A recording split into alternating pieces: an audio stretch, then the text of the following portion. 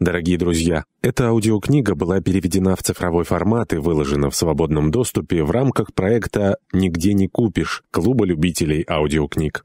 Желаем вам приятного прослушивания. Находка. Часть первая. Старший инспектор рыбнадзора Трофим Русанов по прозвищу Карга возвращался с Китьмарьевских озер. Стояла гнилая осень, машины не ходили. Пришлось шагать прямиком 18 километров до Пуш-озера через лес. Не впервой. На берегу Пуш-озера живет знакомый лесник.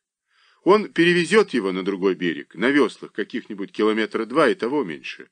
А там обжитой край, не эта дичь несусветная. Там село Пахомово, гравийная дорога среди лугов и полей до самого райцентра. День, заполненный промозглой сыростью, так и не разгорелся. С самого утра тянулись унылые сумерки. Сейчас к вечеру он не угасал, а скисал. Тупой, равнодушной свинцовостью встретила Трофима озеро. Хилые, облетевшие кусты, темный хвостец у топких берегов и где-то застылый, обморочно неподвижной гладью мутная полоса леса на той стороне.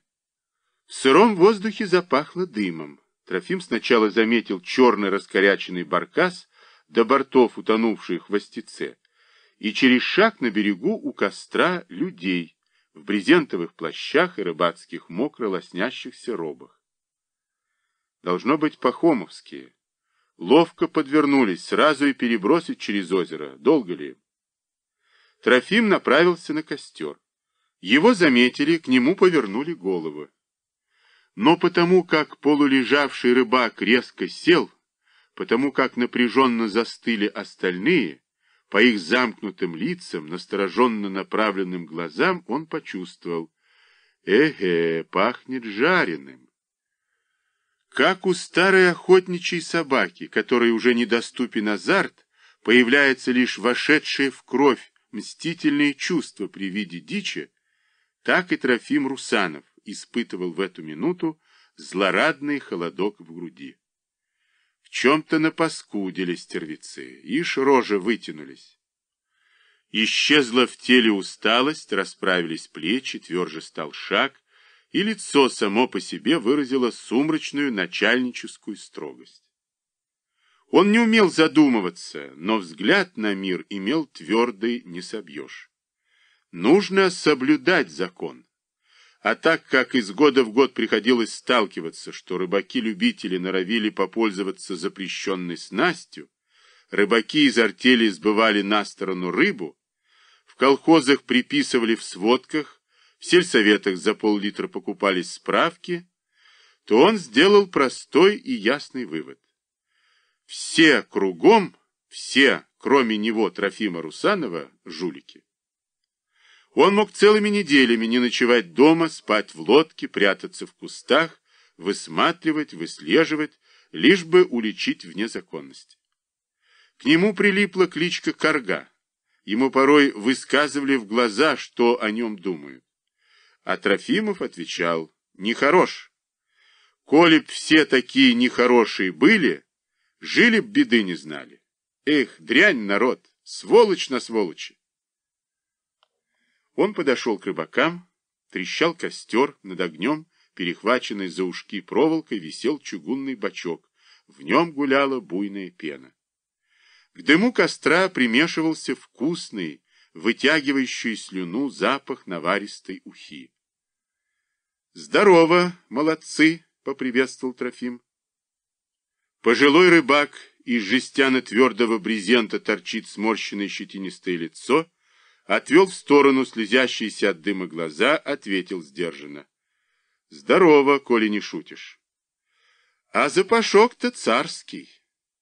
Парень, исхлестанная ветром и дождем, широкая физиономия, словно натертая кирпичом, вымоченная льняная челка прилипла к лбу, глаза голубовато размыленные, с наглым зрачком, пододвинулся. «Садись, угостим», — раз позавидовал. Трофим был голоден, днем на ходу под елкой перехватил кусок хлеба.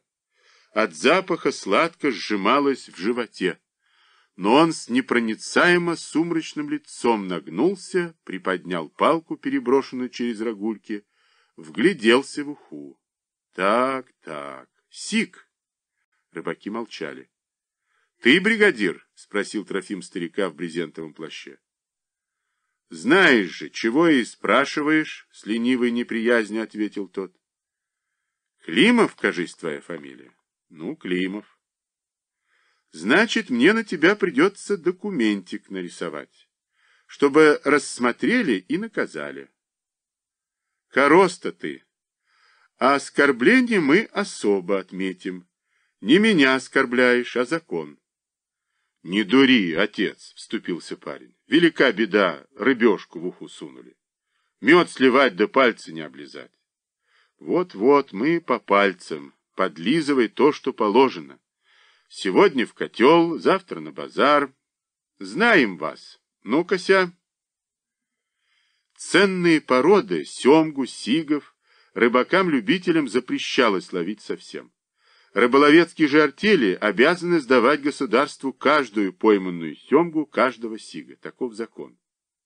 Но кто полезет проверять артельный котел? То, что после улова в уху шли ни окунь, ни щука, ни лещ или плотва, этот вездесущий плеб с озерных и речных вод, а благородные считалось обычным. Мед сливать да пальцы не облизать. Даже инспектора рыбнадзора снисходили. Пусть себе но не Трофим Русанов. И он знал, что если составить форменную бумагу, пустить ее дальше, отмахнуться будет нельзя. Каждого, кто отмахнется, попрекнут в попустительстве. Знали это и рыбаки. Они угрюмо молчали, пока Трофим, присев на корточки, огрызком карандаша выводил закорючки на бланке. «Значит, все», — поднялся он, смахивая ладонью вытравленную дымом слезу из глаза. «Так-то по справедливости». Старик, продернув щетинистым подбородком по брезентовому вороту, произнес. «Молчал бы, а то обгадит да покрасуется по справедливости». Парень недобро сощурил наглые глаза. «Может, теперь сядешь?» Незаконной ушицы отведаешь. Накормим. Слова старика не задели Трофима, привык, не без того, каждый раз встреча со щупкой, расставание со злобой. если б не парень с его ухмылкой и прищуром, он бы с миром ушел. Но парень издевался, и Трофим решил показать себя, пусть знают. Еще шире развел плечи, свел ту же брови под шапкой, но тряным спокойным голосом объявил. «Нет, парень, ушицы этой и ты не отведаешь, не положено». Шагнул к костру, сапогом сбил с рогулек палку, перевернул бочок. Костер разъяренно затрещал, густой стол белого дыма, закручиваясь, пошел вверх. Сытный запах, казалось, залил мокрый унылый мир с чехоточными елочками, перепутанными кустами хвостецом и заморожено застойной водой озера. Не положено, шалиш. Рыбаки не двинулись. Старик холодно, без удивления и злобы глянул Трофиму в лоб. А парень, опомнившись, вскочил, невысокий, нескладно широкий в своей прорезиненной куртке и сапогах до паха, лицо в парной красноте, кулаки сжаты. «Но-но!» — Трофим тронул приклад ружья. Парень стоял мутновато светлыми бешеными глазами, разглядывал Трофима. Тот был выше парня, едва ли не шире в плечах, лицо обветренное не в морщинах, а в складках, глубоких, крепких, чеканных, вызывающих по первому взгляду уважение. Бабы тают от таких по-мужицки породистых лиц. Топорщится замызганный плащ поверх ватника, рука лежит на прикладе. Брось, Ванька, не пачкайся, посоветовал негромко старик. Парень перевел дыхание. Одеть бы бачок на морду, да в воду. Брось, Ванька. Эх, дерьмо, люди, с презрением процедил Трофим. Ни стыда, ни совести. на беззаконничаю, да еще петушаться. Да что с вами толковать, Лишка? Дело сделано, увидимся еще чай. Он подтянул на плече ремень ружья, повернулся и зашагал по берегу. Шапка сдвинута на затылок, плечи разведены, в походке внушительное достоинство человека, только что совершившего нужное благородное дело. Шесть рослых и сильных мужиков молча смотрели ему вслед. А средь тлеющих головней скворчало мясо, свалившееся в костер рыбы, мутноватый дым тек в сером воздухе, и стоял запах, как возле печи перед праздником. Лесник Гурьянов Анисим жил рядом, крепко рубленный приземистый дом на юру, стажок сена, огороженный от лосей, усадьба с раскисшими от осенних дождей грядками и добротная банька на отшибе. Хозяин, высокий, костлявый, не только нескладным телом, но и длинным лицом, глаза голубые, большие, с непонятной робкой горечью. Бабьи, тонкие губы вечно сведены, словно вот-вот изумленно свистнет.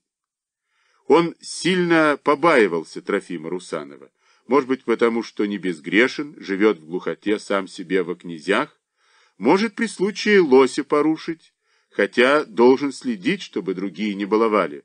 И уж, конечно, если запретная семга сядет у него на крюк, выбрасывать в озеро не станет. Трофим его презирал. Дрянь народ относил без оговорок и к леснику. Анисим, морщив улыбки и сведенные губы, хлопая желтыми ресницами, позвал к столу. Небогато ныне наше застолье, ну да чем Бог послал.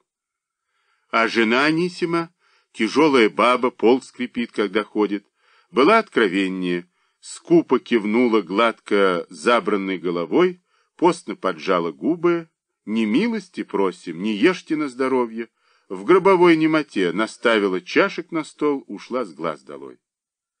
Чтобы умаслить нежданного гостя, Анисим выставил на стол початую бутылку, морщась в застенчивой улыбочке, предложил.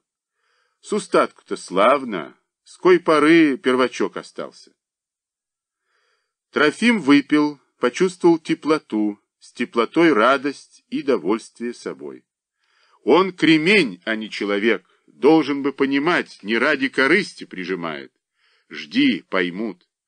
Так как никого другого под рукой не оказалось, стал распекать Анисима. Кто в этом краю начальник, ты? Оно, видно, рукой не достанешь, улыбнулся Анисим. Десяток зайцев по лесу шныряет, командую. Не может земля без закона жить. Под носом у тебя рыбаки в котел сигов натолкали. Где закон? Нету его. С кого спрос? С тебя. Сегодня я прекратил безобразие, завтра-то меня здесь не будет. Анисим коротко поглядывал в потное окно, к которому жалась беспросветная лесная темень, омраченная сыростью затянувшейся осени, проговорил безнадежно. Сегодня-то уж, видать, не попадешь на тот берег. Где там, хоть глаз выколи?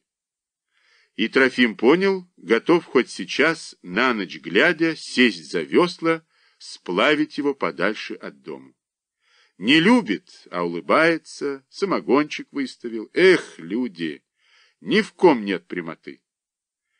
Утром едем, да пораньше, сказал Трофим. Куда ты меня примостишь?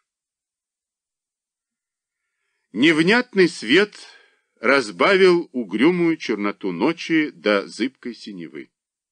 Едва-едва различились тщедушные, искалеченные ветром ели. То ли туман лип к лицу, то ли моросила водяная пыльца.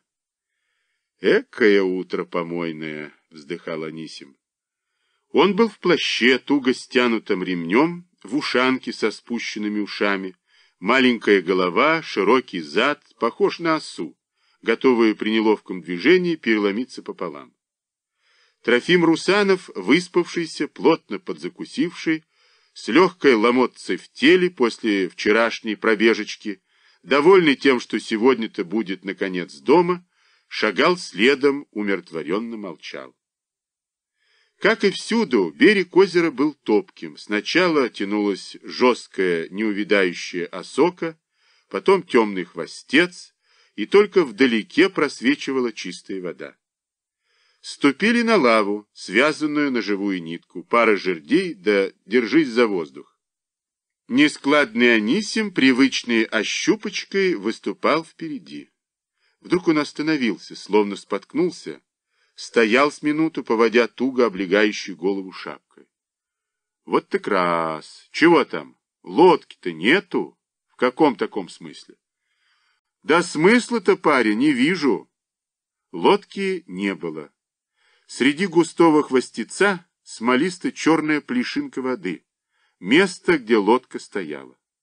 В сторону озера хвостец помят, намечено проточено. Этим путем обычно выбиралась к чистой воде лодка. Анисим и Трофим балансировали на жидких жердях. «Пошли, как бы не обвалилось», — посоветовал Анисим. На берегу они присели на плоский валун, веками оседающий в заболоченную землю. Закурили, озадаченно вглядываясь в томящееся в мутном осеннем рассоле озеро. «Может, сам куда завел с пьяна да забыл?» — с надеждой спросил Трофим. «И в молодости до того не напивался». «Не черти же лодку уволокли, здесь людей не бывает?» «Бывают, сам видел». Рыбаки, пахомовцы. Трофим и раньше об этом догадывался. Ты им, видать, круто насолил. Ах, бандиты, да я им... Обожди стращать. Пораскинь, как выберешься. А кроме моей на этом берегу ни одной лодки больше нет. И Трофим замолчал. Он только теперь понял, что попал в переплет. Пуш озера не широко, но длинно, путанной изгибистой подковой влезает в леса и с конца в конец километров 25 добрых. Обогнуть его не так-то просто. В лесах прямо не пройдешь, от озера тянутся заливы, по-местному лахты. В озеро впадают речки, не широки, но глубоки. Вплавь перед морозами не переберешься, но самое тяжелое — болото. С одной стороны тянется волчья топь, она по размашисти самого озера. Трофим, считай, всю жизнь прожил тут. Он не знает, где кончается эта топь. Заберись в нее, не вылезешь. С другой стороны тоже болото, мокрецы. Хороши мокрецы, когда в нем есть места, ступишь ногой на травку и ухнешь вниз, никто и во веки веков не найдет. За два дня едва ли переберешься на тот берег, жилы вытянет. А село Пахомово рядом, из-за леса колокольня маячит, на том берегу. Всего-то на веслах не спеша час от силы. Ни одной лодки. Знали, чем укусить подлый народ. Может, плод, неуверенно предложил Трофим. Уж очень не хотелось двое суток блуждать по лесу. Плод-то, Анисим помедлил, ежели бы лес рос у берега, у берега-то жертв добрую не вырубишь. За полкилометра таскать бревна на горбу. Пока свалишь, пока притащишь. Сколачивать на воде придется, нынче не лето. Плод маята. Проще обижать. Трофим молчал. Анисим смял цигарку. Конфуз. И лицо у него в самом деле было конфузливо. И ни соли, ни сахару в доме, да и хлеба чуть. За всем езжу на тот берег. И сейчас вот метил, провожу тебя и отоварюсь. Пока ты здесь, эти пакостники лодку не приведут. Нет, не смилуются. Будем мы с тобой кочерышки капустные грызть. Трофим понял, его нежеланного гостя любым путем хотят спровадить. Даже не обиделся. До того ли в эту минуту? Не плавом же мне. Конфуз. Обходить-то изведешься? Ты же к лесу привычный, места вроде знаешь. Ночь под крышей ночуешь. На Копановских покосах курная избушка стоит. А уж там пораньше встанешь, подналяжешь и, глядишь, доберешься до темноты. Я тебе сальца дам, хлеба, котелок, чтоб чайку горячим побаловаться. Как ни раскидывай, по-другому не выпутаешься. Не приведут стервицы лодку, не. А коли приведут, то через неделю какой расчет тебе ждать? Трофим молчал, глядел на оплывающее в грязном рассвете озеро, Анисим выжидательно косил на него глазом, вздыхал. Конфуз, право. Лес перед первыми морозами кажется черным, зачумленным краем. Даже собственных шагов не слышишь. Глохнут в мху и на толстой подушке мокрой хвои.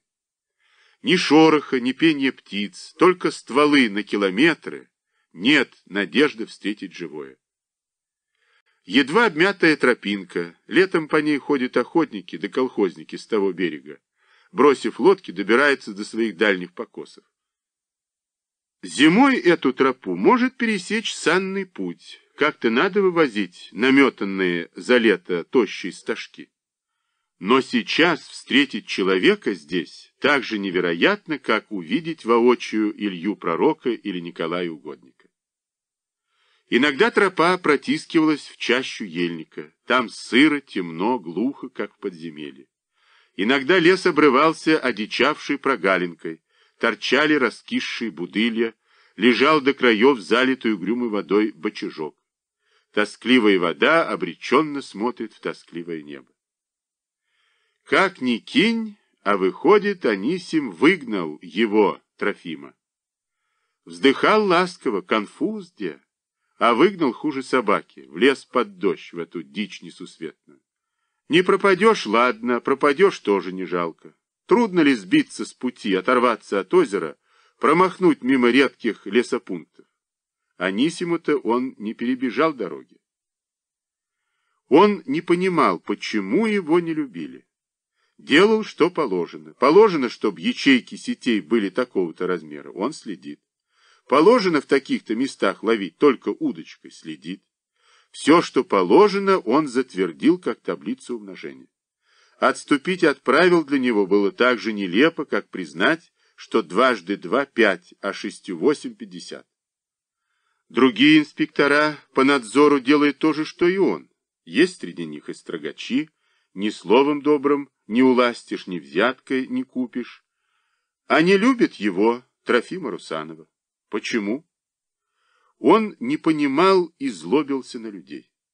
Просыпаясь утром, он уже знал, что кто-то обижен на него, кто-то затаил злобу. Впрочем, злобу тех, кого он наказывал, Трофим переносил легко. Что с них взять, не миловаться же с ними? Но когда его подводили те, кому он не давал никакого повода, терялся. За что? Что сделал? Где же правда? И единственное успокоение, что народ дрянь, а он особый. Сейчас пустынным, неприятным мокрым лесом Трофим нес обиду на Анисима не ущипнул его, не ославил, за что не любит. Кончился ельник, маховые мочежины и унылые застойные бочаги. Начался сосновый бор. Даже в эту пору утомительной сырости, бесцветности, сумрака сосновый лес сохранил торжественность. В нем просторно, чисто, хоть играй в пятнашки и почему-то назойливо ждешь жилье. Вот-вот стволы расступятся, замаячат крыши. Но стволы не расступались, идешь, идешь, никаких перемен. Все та же чинная лесная чистота, молчаливая торжественность, величавость. И сам кажешься себе маленьким, затерянным, начинаешь без причины торопиться. Опять за нозой засела мысль. Упади он здесь, не вернись, никто не прольет слезы. А у него была жена, взрослый сын. Сын всю жизнь сторонился отца. Едва подрос, ушел из дому. Теперь работает на лесокомбинате. Письма от него идут на имя матери. Жена жила возле него молчком, равнодушно его встречала, равнодушно узнавала, что уезжает на неделю-другую на озера, равнодушно слушала, когда он не без торжества сообщал, такого-то припек. Ежели Трофим выходил из себя, ругался, квелая какая-то, не баба, а пень, она без обиды возражала. А что мне, плясать перед тобой? Отплясалась, не молоденькая. Сосновый чистый лес он походил на мрачный прокопченный авин, бескрайняя крыша которого подперта бесчисленными столбами. Пустой авин, давно заброшенный людьми. Его вытолкнули сюда. И узелок к узелку вязалась сладкая ненависть к Анисиму. Найду случай, подсыплю соли на хвост тебе, старые леса. Не без греха семгу ты ловишь и корку жрешь, а я тебя за рукав да соответствующий документик нарисую, да с ним в рай с полком, а оттуда сигнал в лесхоз. Домик казенный обжил, к усадебке приноровился, пасеку держишь, коровку, поросяток. Ну-ка, свертывайся, топорик в руки, да на лесопункт. Сосновый бор стал мельчать. Покоробленные, не белоствольные, а рыжие березки назойливо втискивались среди разбегающихся сосен. Трофим вышел к реке, лесной, сонный, черная вода вровень с берегами. За ней болото. Через речку перекинута пара бревен. Мост не мост, а вроде этого. Весной его унесет. Слава богу, что сейчас цел. Трофим присел на комель, развязал мешок, достал хлеб, сало. Время-то обеденное. Сидел, жевал сало, положенное Анисимом, думал о том, как он прижгет этого Анисима. Весь день он гнал себя, не давал отдохнуть. Перебирался через овраги, на дне которых невольно охватывала дрожь, сыра могила. Проходил болотца с тощим ельничком, полянки с вывалившимся лесом. Короткий предзимний день показался годом, как будто давным-давно сидел он на берегу озера вместе с Анисимом. Он гнал себя, чтобы добраться к курной избушке до темноты. Ночью идти нельзя. Через пять шагов собьешься с тропинки, влезешь в чащу или свалишься в бочак.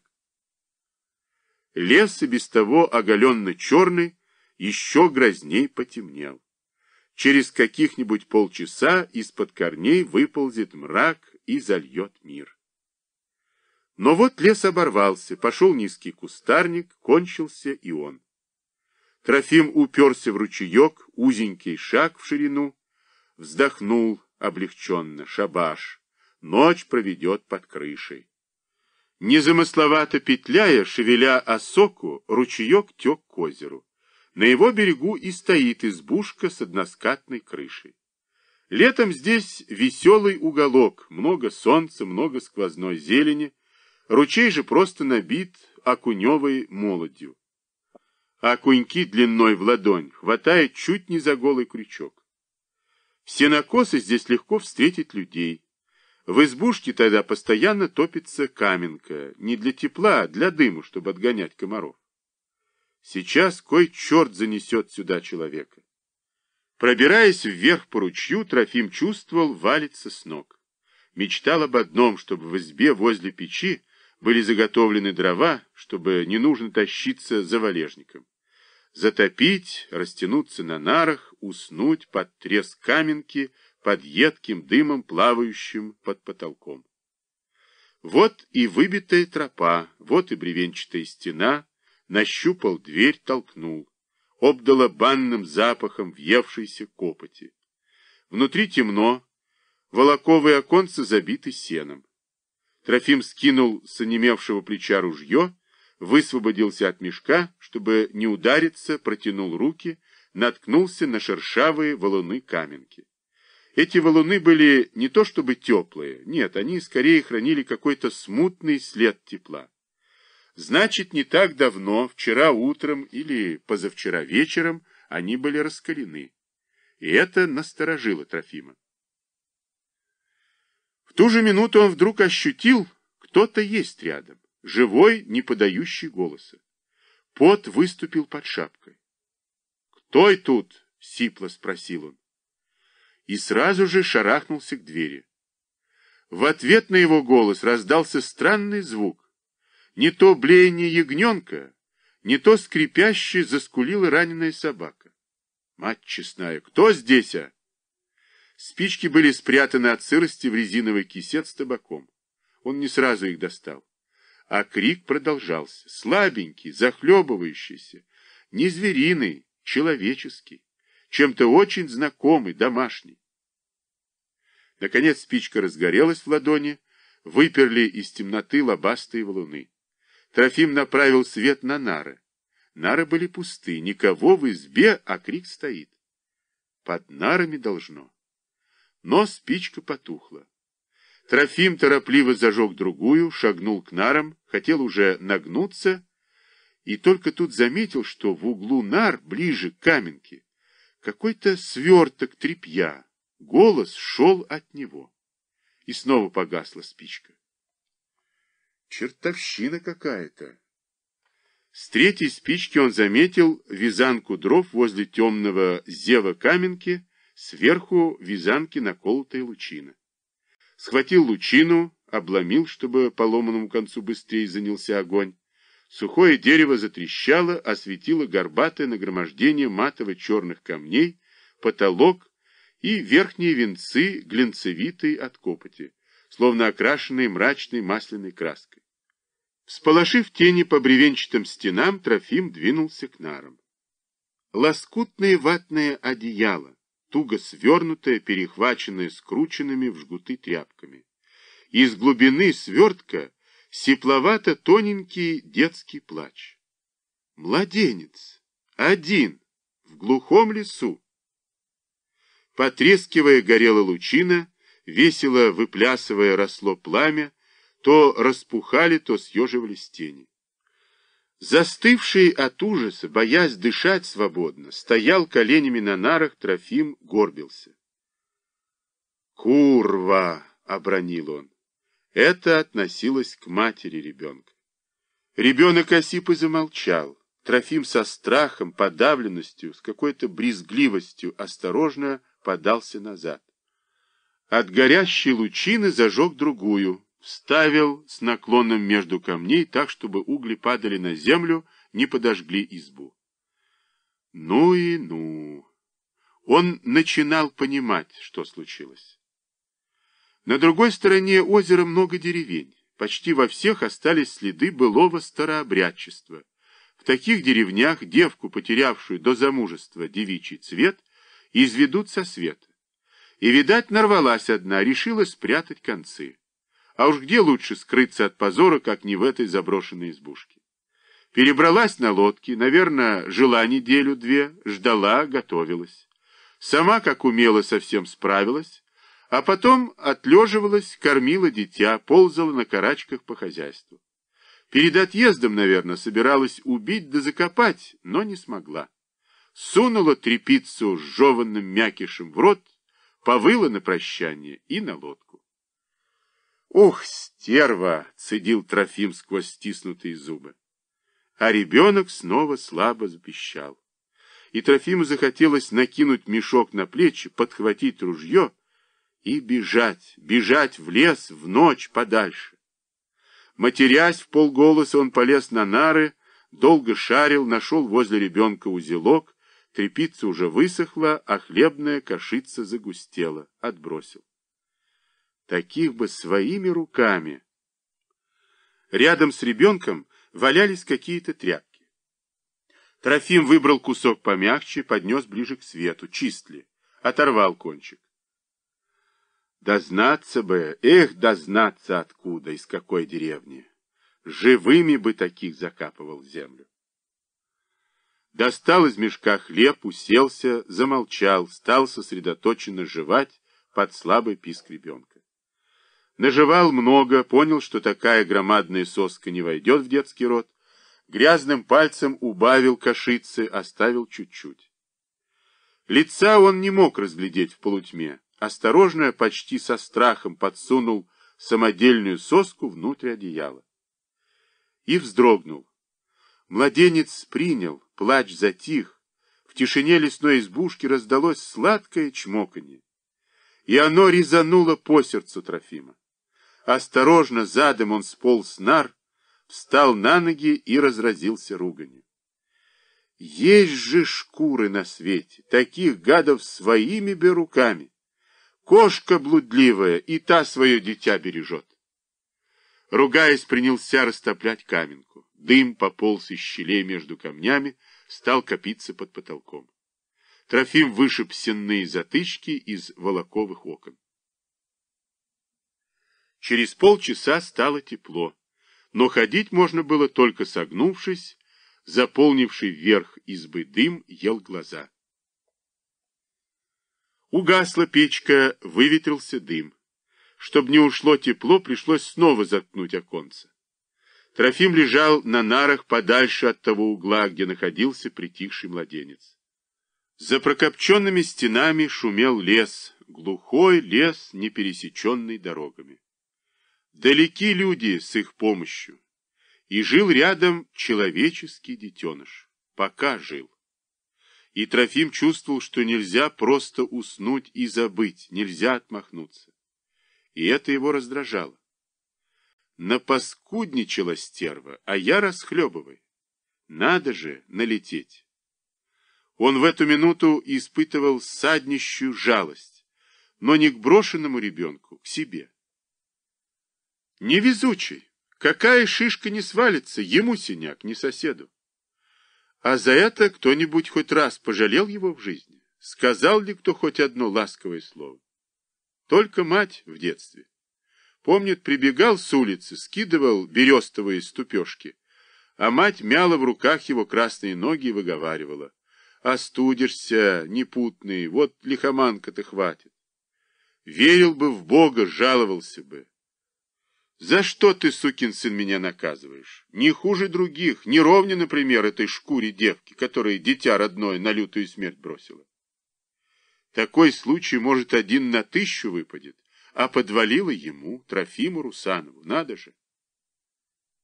Шумел лес, не только безлюдный, но лес, где сейчас попрятался всякий зверь. Спал, насытившись жвачкой, ребенок, равнодушный к тому, как поступит этот случайно занесенный к нему человек. А человек не испытывал дружелюбия. Под шум леса, под тоскливые мысли Трофим незаметно уснул. На воле уже наступило утро. В курной избе с заткнутыми окнами было темно и холодно. Открыв глаза, Трофим сразу вспомнил, что случилось вечером, и не поверил. Не бывает такого. Сон дурной. Но ребенок заплакал. И Трофима охватил приступ беспомощной злобы. Не задавила тебя эта сучка. Теперь нянчись, цыц. Чтоб только не слышать детского писка, соскочил с нар, запнувшись о приставленное к стене ружье, саданул ногой дверь и резануло по глазам. Еще вчера земля была нищенски темной, сейчас ослепительно бела празднично. За ночь выпал снег. И на этом непотревоженном снегу плясали, подбоченившись, молодые березки, стволы желтые, словно теплые на ощупь. А издали с конца поляны хмурился еловый лес.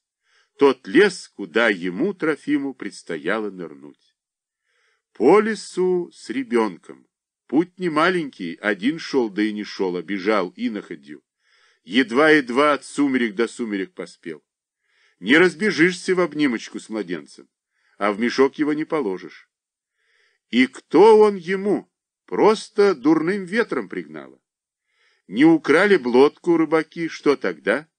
Скажем, даже возьмет. Но этот подкидыш и без того, наверное, еле жив.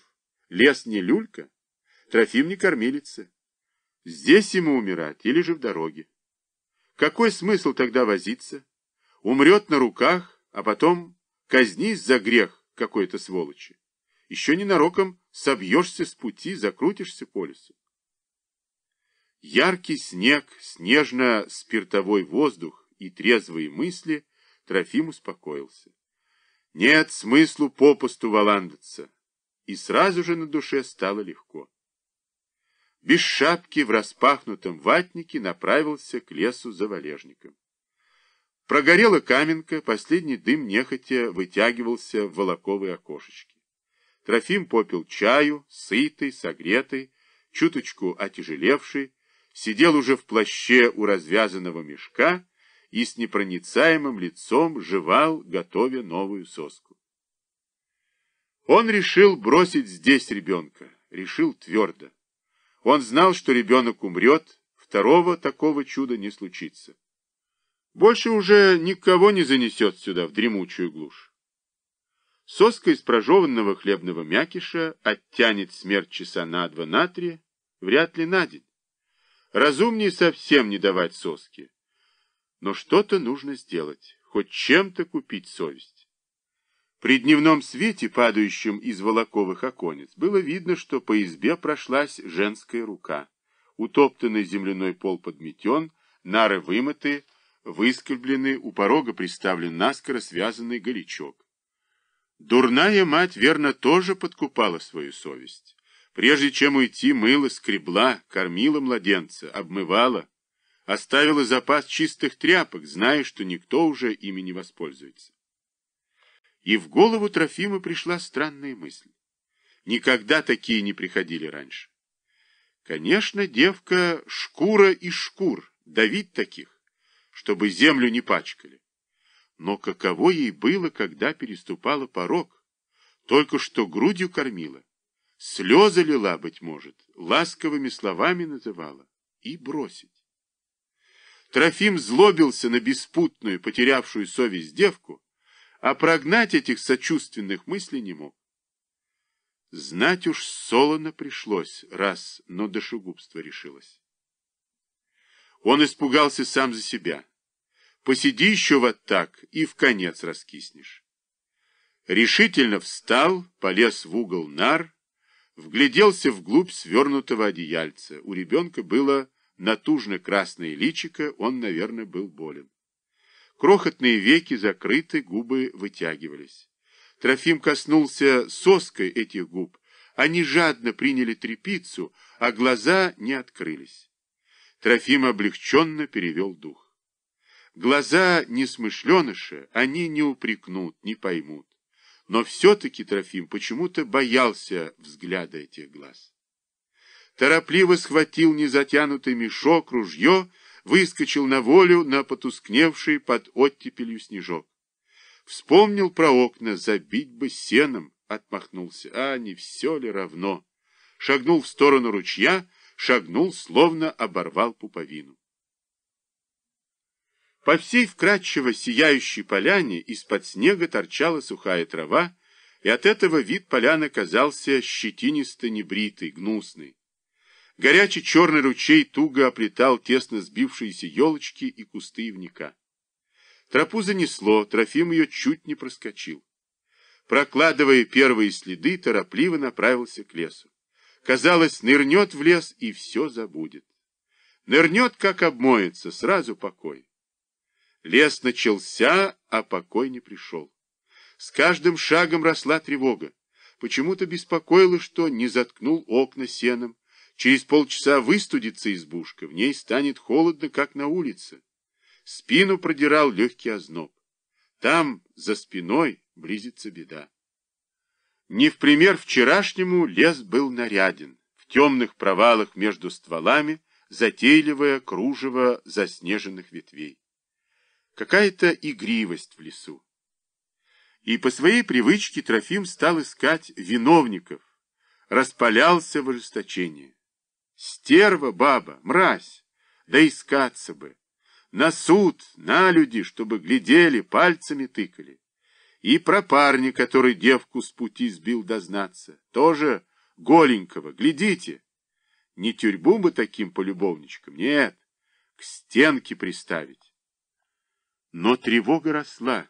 С отчаяния стал винить Анисима, рыбаков, что увели лодку. Тоже совести ни на грош. Сидят сейчас в тепле, чаи гоняют. А коли услышит, что младенца мертвого в избушке нашли, что им, почешут языки да забудут? Сволочь народ! Но вспомнил, как сунул соску, и словно ударили по черепу, остановился. С заснеженных еловых лап падал отяжелевший, подтаивший снег, задевал за ветки. По спящему лесу проходил вкрадчиво воровской шорох. Соску сунул, и маленькие, как надрез ногтем, закрытые веки и ищущие во сне губы. Не соску искали, грудь. Нет матери, нет отца, нет защитника. Соску сунул. Мать-то хоть что-то припекло, а тебя-то что припекает? Ведь над тобой смеяться, как над девкой, не будут. Девку ты готов к стенке, а сам соску сунул. Сыпался с ветвей снег, равнодушные ели окружали человека. Им все равно, на что он решится. Девку к стенке, а сам соску. Трофим сорвался с места, ломая ветви, пробиваясь сквозь чаще, бросился обратно по своему следу, четко пропечатанному на снегу.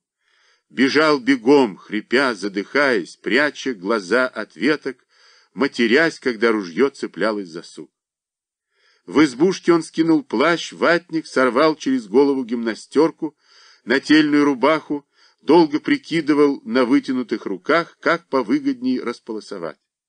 Разорвал на две части. В одну сейчас обернет, хоть и не чиста, да суха, другую припрячет про запас. Ему до этого и в голову не приходило раскрыть ребенка. Терпит и ладно, все равно помрет. Сейчас, когда увидел красное до мяса сопревшее тельце, не выругался, а застонал. И стон его был неумелый, походил на скулеж голодной собаки. Звери, душегубцы! Спасу тебя, девка, может, спасу. Ребенок был девочкой. От черного ручья уже вели в лес пробитые им следы. Но он не пойдет по этим следам.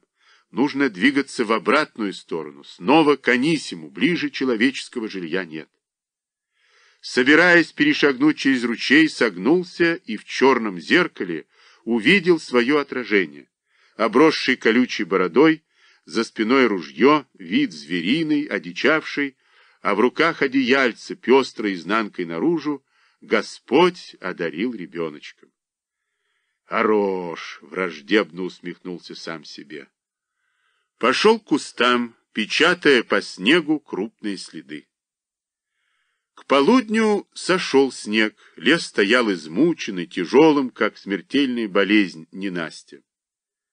Ноша не грузна, но нести ее мучение никак не приспособишься. Не по утоптанной дороге шагать, в одном овраге чуть не выронил сверток в ручей. Девчонка часто плакала, выискивал место, присаживался поудобнее, сочинял новую соску. Для этого кусок хлеба держал за пазухой, там же тряпки, чтобы не промокли. Соску девочка выкидывала тоненько и сепловато кричала. Трофим ругался в отчаянии. «Хрен тебя знает, чего хочешь!» Больше сидел, чем шел. Да и вышел поздно, за весь день протащился чуть больше десяти километров.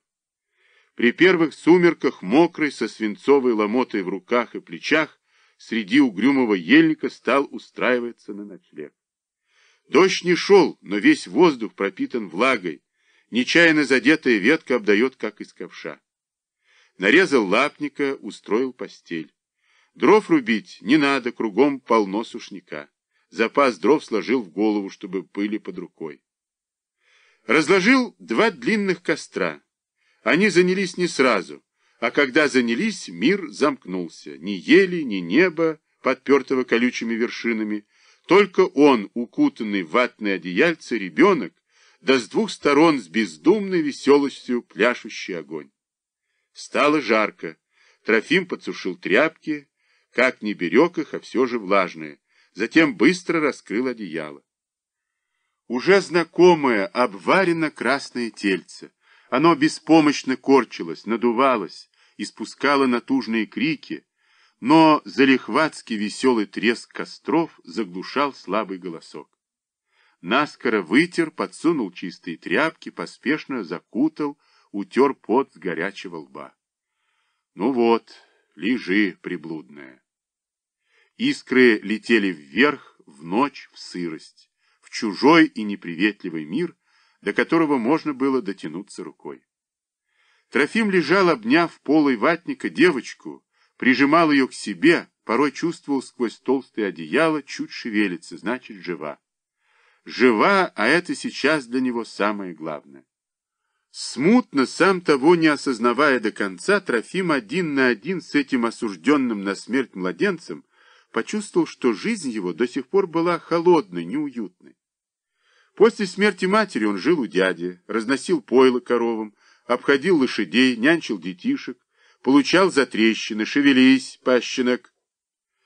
Началась коллективизация, Трофима вызвали в сельсовет. Подпиши заявление, что ты батрачил на дядю.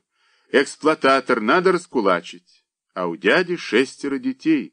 Старший Петька, одногодок Трофима, жалко все же. Ах, жалко, а они тебя жалели? Сколько лет ты на них хрип ломал? Сынок-то в сукнах ходит, на тебя рубаха чужая. На рубаху не заработал?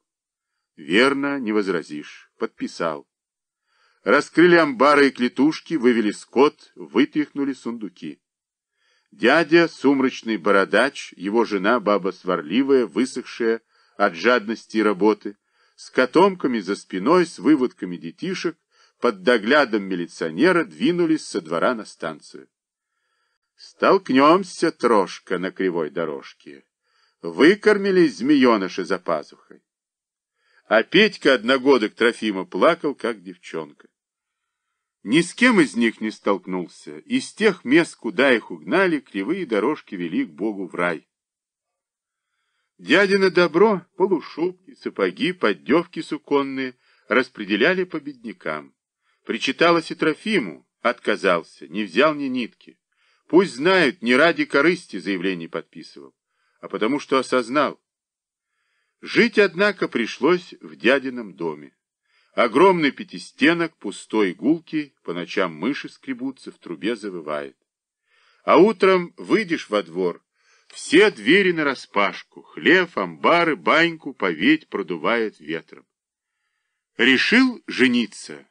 Нюрке Петуховой, дочке неледящего Сеньки по уличному квас, не приходилось выбирать. Из себя вроде ничего, лицо приятное, в черных глазах какая-то птичья робость, Парни бы не прочь побаловать, но кому охота идти в зитья к деревенскому скомороху Сеньке Квасу? Этот квас, морщинистое лицо, мышиные глазки, все богатство. Зипун из заплат штиблеты с березовым скрипом потребовал. Свадьбу гони, хоть христианскую, хоть пролетарскую, была бы выпивка. А на свадьбе после первого стакана словно обухом по башке. Ты мной не брезгуй, я сам тобою брезгую. С чего ты?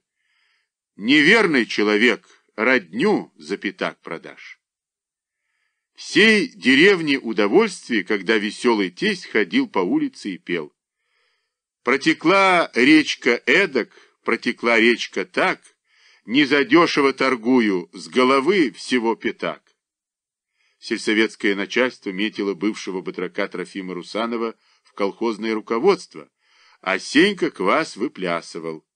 Интересная заботушка мне голову кружит, кабы зятюшкой колхозушку на пару поделить.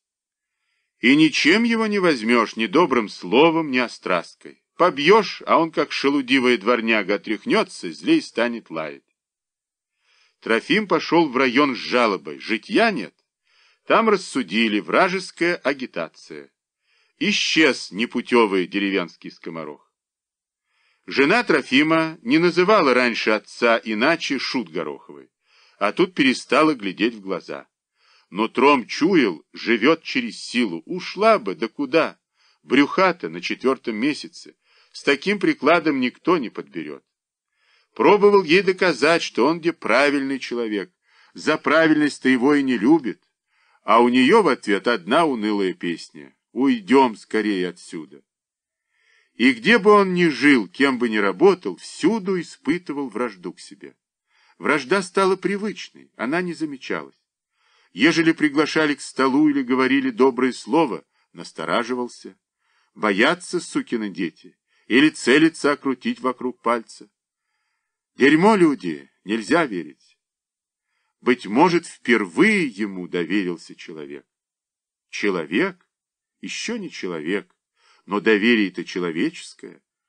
Вот я, можешь отмахнуться, тебе ничего не будет, никто не узнает. Люди не догадываются о моем появлении на свет. Отмахнись, это так просто сделать. Будешь свободен, быстрее вырвешься из леса, домой, в тепло, в уют, к отдыху. Отмахнись, правильный человек. Трофим не привык раздумывать, и сейчас он не думал, а просто чувствовал беззащитное доверие. И ему, жившему во вражде, оно было ново, необычно, вызывало щемящую благодарность. Разворачивая одеяльце, он видел разъеденное нечистотами, обварено красное тельце и сам испытывал страдания. Он совал тряпичную соску и снова страдал от того, что не материнское молоко, а грубая жвачка, опасная пища, можно своей рукой отравить младенца. Лежа между двумя полыхающими кострами, он прижимался тесней к ребенку, старался укрыть его собой от холода, от жара трещащих дров, от нездоровой ночной сырости. Его собственная жизнь в эти минуты сразу стала как-то сложнее и ярче. Только бы донести до людей, там-то уж спасут. Нескончаема ночь поздней осени. Порой не верится, что настанет утро. Кажется, так и завязнет темнота навсегда. Час к часу не сложится в сутки, спутается время. Трофим подымался, подкидывал дрова в огонь, торопливо ложился, прижимал к себе нагретый сверток, забывался чутким собачьим сном.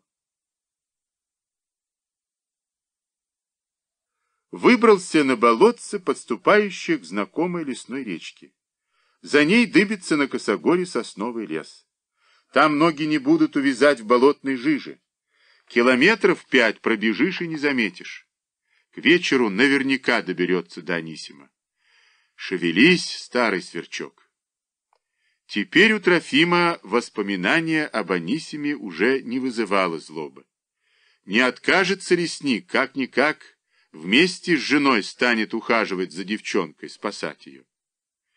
За помощью идешь к нему, а от кого ждешь помощи, того за врага не считаешь. Падал ленивый лохмато-крупный снег и таял сразу на мокрой земле. Небо налилось устрашающей пустотой, воздух сумеречно сер, хотя до вечера еще далеко. Трофим, прижимая к себе ребенка, рассчитывая каждый шаг, боясь провалиться в студенистую трясину у берега, пробрался к самой воде и застыл пришибленный. Он отлично помнил это место. Здесь лежали два бревна, их нет. Подмыло ли берега и концы бревен обрушились? Просто ли после стаявшего снега поднялась вода? Так или иначе, перехода нет. Вода настолько черна, что, кажется, сунь руку, и она увязнет, как в смоле. На эту черную воду ласково то там, то тут спускались невесомые хлопья снега. Едва коснувшись, исчезали. Вода спокойна, течения нет. От берега до берега каких-нибудь шагов 8-10. А на противоположном берегу, подпирая сумрачное небо, натянуто стоят стволы сосен. Не перепрыгнешь к ним. Восемь шагов. Такие стоячие лесные речки нутристы. Берега их обрывисты. На дне, затянутом илом, лежат давно затонувшие стволы деревьев, между ними ямы и провалы. Сорвись и скроет с головой. Вброд, да еще с ребенком на руках? Нет, опасно. И все-таки Трофим решил прощупать. Наломал лапника, пристроил на нем ребенка, подобрал вывалившуюся березку, попрямее и потоньше, двинулся вдоль берега, промеряя через каждые пять шагов глубину. По грудь у самого берега, значит, на середине может скрыть с головой, по пояс снова по грудь. Но вот конец березового кола сразу уперся в дно, по колено, даже мельче, а у того берега кто знает. Ежели и решаться, то тут, прежде чем соваться с ребенком, надо проверить. Скидывая одежду, не дай бог намочить ватные штаны и телогрейку. За сутки не просушишь у костра. Нагишом полезай в ледяную воду, а сверху тебя будет посыпать снежком. И Трофим сплюнул. Да что я, на смерть присужденный. Он решительно отбросил кол, пошел обратно. Нечего рассчитывать на брод, придется двинуться вверх по реке, пока не наткнешься на какую-нибудь оказию. Случается же, что упадет старое дерево поперек реки, вот тебе и мост, шагай посуху. Перед тем, как двинуться в путь, присел на лапники, взял младенца на колени. Девочка не брала соску. Можно прошагать не один день, но так и не перебраться через эту дикую сонную речушку. Сколько еще протянет девчонка? Сегодня-то они до Анисима не доберутся. Трофим поднялся. По болотистой долинке кружит лениво черная река. Брось щепочку в ее воду, не тронется с места. Кружит река, кое-где она разливается в просторные бочаги, кое-где ее берега сближаются настолько близко, что нетрудно перескочить с разгону. Но с ребенком не перескочишь, да и сами берега рыхлые, топкие, не разбежишься, не оттолкнешься. Кружит река, вместе с ней кружит и Трофим. Щетинистый грязный человек с ружьем, с мешком, с младенцем в ватном одеяльце на руках. Кружит река, уводит Трофима вглубь леса, и начинает уже смеркаться, пора думать о ночлеге.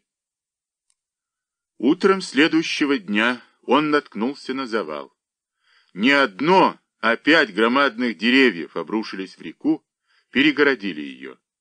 Пять сухих стволов друг на друге, крест-накрест, и целая роща костистых ветвей, крепко сцепленных, туго переплетенных, закрывающих путь через реку.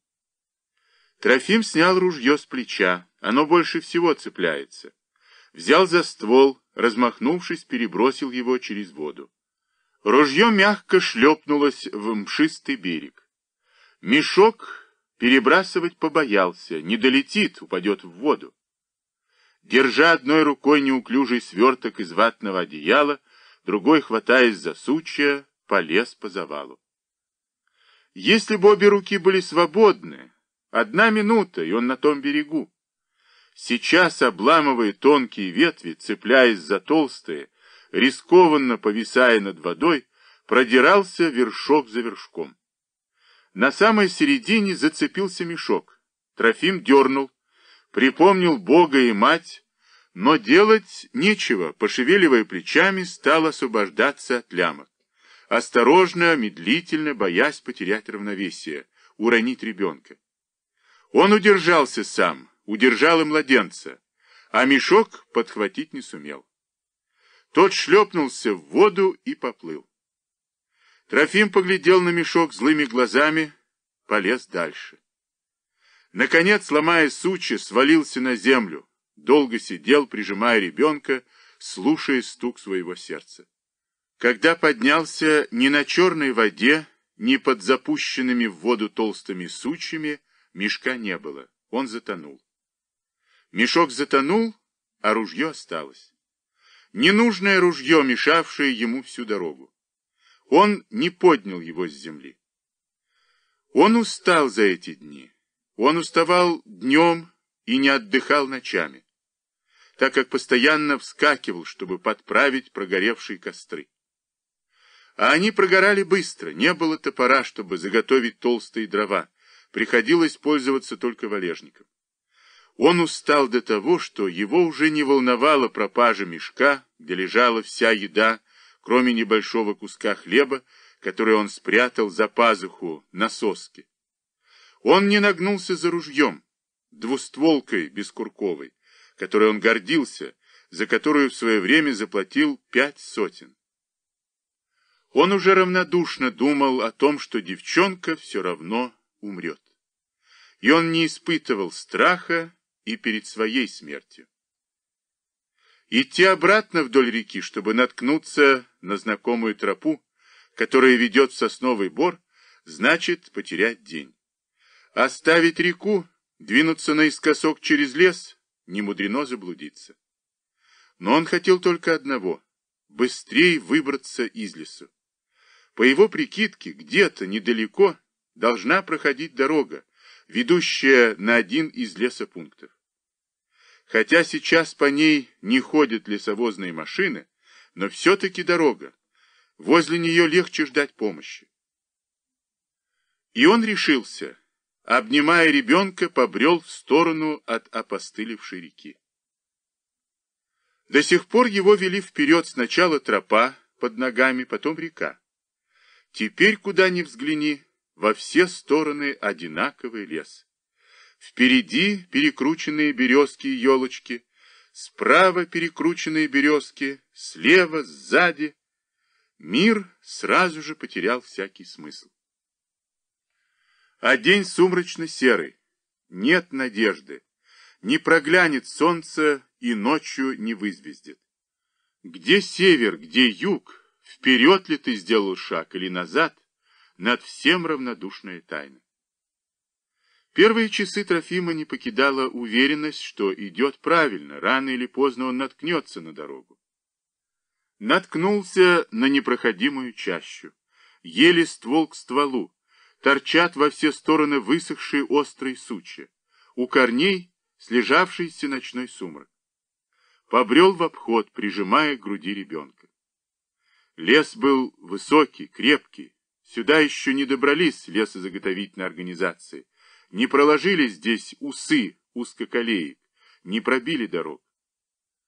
Тонкие гибкие березы протискивались к небу сквозь плоты хвои. Еле развешивали над головой замшелые полуоблезшие лапы. Лес давил дикостью. Дальше, чем на три шага, ничего не видно. Он шел и глядел в небо, на верхушки деревьев, ждал, что вдруг покажется заманчивый просвет. Вдруг да вырубка, а от нее непременно дороги к человеческому жилью. Пусть полузабытые, полузаросшие, но все-таки дороги. Несколько раз ошибался. Ему казалось, что лес впереди раздвигается. Тогда он прибавлял шагу, ломился напрямик через чащу и выходил в мелколесье. А за мелколесьем снова рослый лес. Опять просвет, с каждым шагом он ширится, с каждым шагом становится чуть светлей, и лес оборвался. Перед Трофимом выросла лохматая, как поднявшийся на дыбы неопрятный медведь, вывороченное корневище, пласт земли, поставленный на попа. Шагнул в сторону, чтобы обойти, и в упор расщепленный ствол, страшный излом, словно разверстая пасть в диком крике. Стволы навалом, один на одном, толстые, тяжелые, забуревшие от времени и вскинутые вверх в судорогах костлявые ветви. Ждал вырубку, ждал лесную пожню, с пригорюнившимся в одиночке стажком сена, думал найти дорогу. Где там? Когда-то здесь прошел буран, столетние деревья сорвались с насиженных мест, остервенело набросились друг на друга, вцепились сучьями, упали в обнимку, на них попадали новые. Лесное побоище на километры. Лесное побоище, прикрывшее заболоченную землю, дикие звери и те обходят стороной проклятое место. Дорога! Где уж? А смутного неба, мутный, как жидкое коровье пойло, свет. И тишина. Тишина, нарушаемая лишь равнодушным шумом хвойного моря. Морю нет конца. Как далеки люди, как дороги они все. Только теперь Трофим поверил, что он заблудился. А день увидал, мгла затягивала побоище. Утром он не смог согреть кипятка, ничего не поел. Котелок, хлеб, сало еще добрый кусок. Все осталось на дне той проклятой реки. Он только, исходя слюной, наживал соску. Но девочка опять ее не взяла. Она скоро умрет. Его и самого лихорадило. За ночь опять выпал снег, мокрый, липкий, которому суждено снова сойти. Влез в болото, из припорошенных снегом маховых кочек под сапогами брызгала рыжая вода. Провалился ногой до паха в трясину. Вырвал отяжелевший от грязи сапог, прополз на коленях шагов двадцать и не смог подняться. Обессилел от страха. Сидел, чувствуя, как немеет от холода промоченная нога. И тут девочка заплакала слабеньким кашляющим плачем. Она давно уже не подавала голоса, и это помогло ему подняться. Неожиданно напал на свежий человеческий след, бросился по нему. След пьяно блуждал средь кочек, и он понял, наткнулся на свой собственный след. За пазухой еще лежал обломанный со всех сторон кусок хлеба. Он шел и думал об этом куске. С этими мыслями в темноте он добрел до пологого овражка, заросшего ольховником. Началась четвертая ночь под открытым небом. Он еле нашел сил набрать валежнику. Всю ночь не спал, всю ночь старался, чтобы костры горели жарче, и все-таки мерз. Крышка тебе, Трофим. Вот так просто. Не встанешь утром, и крышка. Привычно посерело небо, привычно расползлась грязная мгла, забилась вглубь кустов на дно овражка. А снег падал и падал, сырой, тяжелый, обильный. От него воздух вокруг тлеющих костров становился каким-то прелым, нездоровым. Трофим с натугой поднялся, перемотал непросохшие портянки, все тело ломило. С равнодушием заглянул внутрь одеяла. Лицо девочки было странным, синевой, какое-то замороженное. Умерла или нет? Тронул пальцем щечку, но грубый жесткий палец ничего не почувствовал. С трудом сгибаясь, притронулся губами, но губы его были горячи и сухи, ощутили холод. Никак не мог понять, умерла или нет. Так бы и лег рядом с девочкой, да и не вставал больше. Вспомнил про хлеб, достал захватанный, помятый, крохотный кусочек, взвесил на руке, выругался слабо. А чтоб тебя, померла или нет, откусил хлеб. Глядя на девочку, съел весь кусок, не чувствуя вкуса хлеба, не наслаждаясь, что ест. А когда съел, стало стыдно. Вдруг дожива, вдруг да подаст голос. Из-за стыда неожиданно озлобился. Да что я зарок кому давал? Что мне, сдыхать вместе с ней? Это ли озлобление, как-никак живое человеческое чувство, страх ли перед смертью совсем расшевелили Трофима? Забрал подкидыша, тащил на себе, умилялся, красовался перед собой, забрел черти куда, болен, голоден, сдыхает. Ради чего? Проснись, Трофим, да мотай быстрей. Один-то как-нибудь выпутаешься. Трофим встал, запахнул плащ, натянул потуже шапку, скользнул взглядом по ватному одеяльцу, волоча ноги, направился к лесу. Без ноши в руках было непривычно легко и неловко. Такое чувство, словно раздет, вот-вот прохватит морозом. Матери она не нужна. Так кому нужна? Ну, спасу. А куда девать? Кто обрадуется? Может, лишний груз себе на шею повесить? Выкормить, вырастить, замуж отдать? И спасибо не услышишь.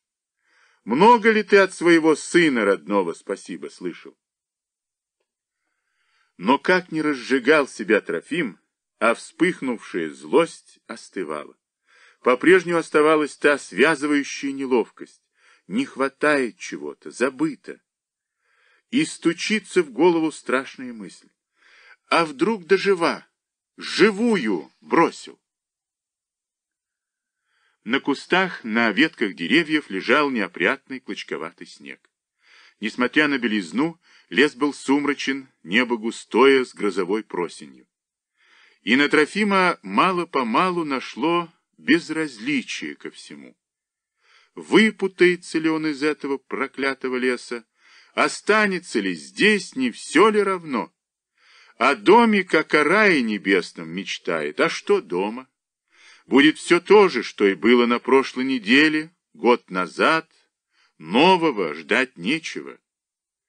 Наверное, только станет вспоминать, как валялся у костра, как прижимал к себе завернутого в одеяльце младенца, как прислушивался, шевелится ли. Пожалуй, ничего другого в жизни не вспомнишь. А вдруг дожива, живую бросил. Наискось узкую полянку перерезал след, прямой как по линейке.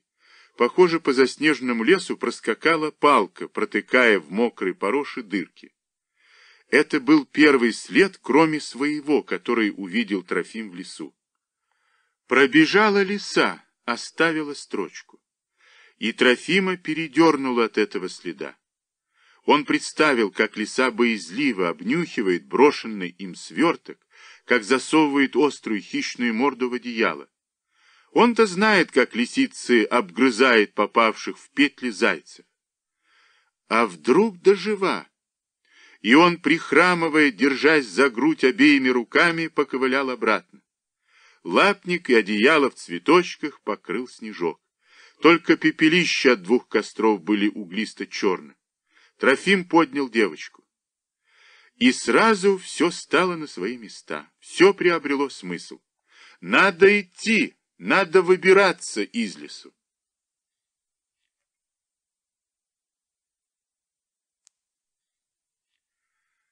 Вечером того же дня до него донесся горчащий запах дыма.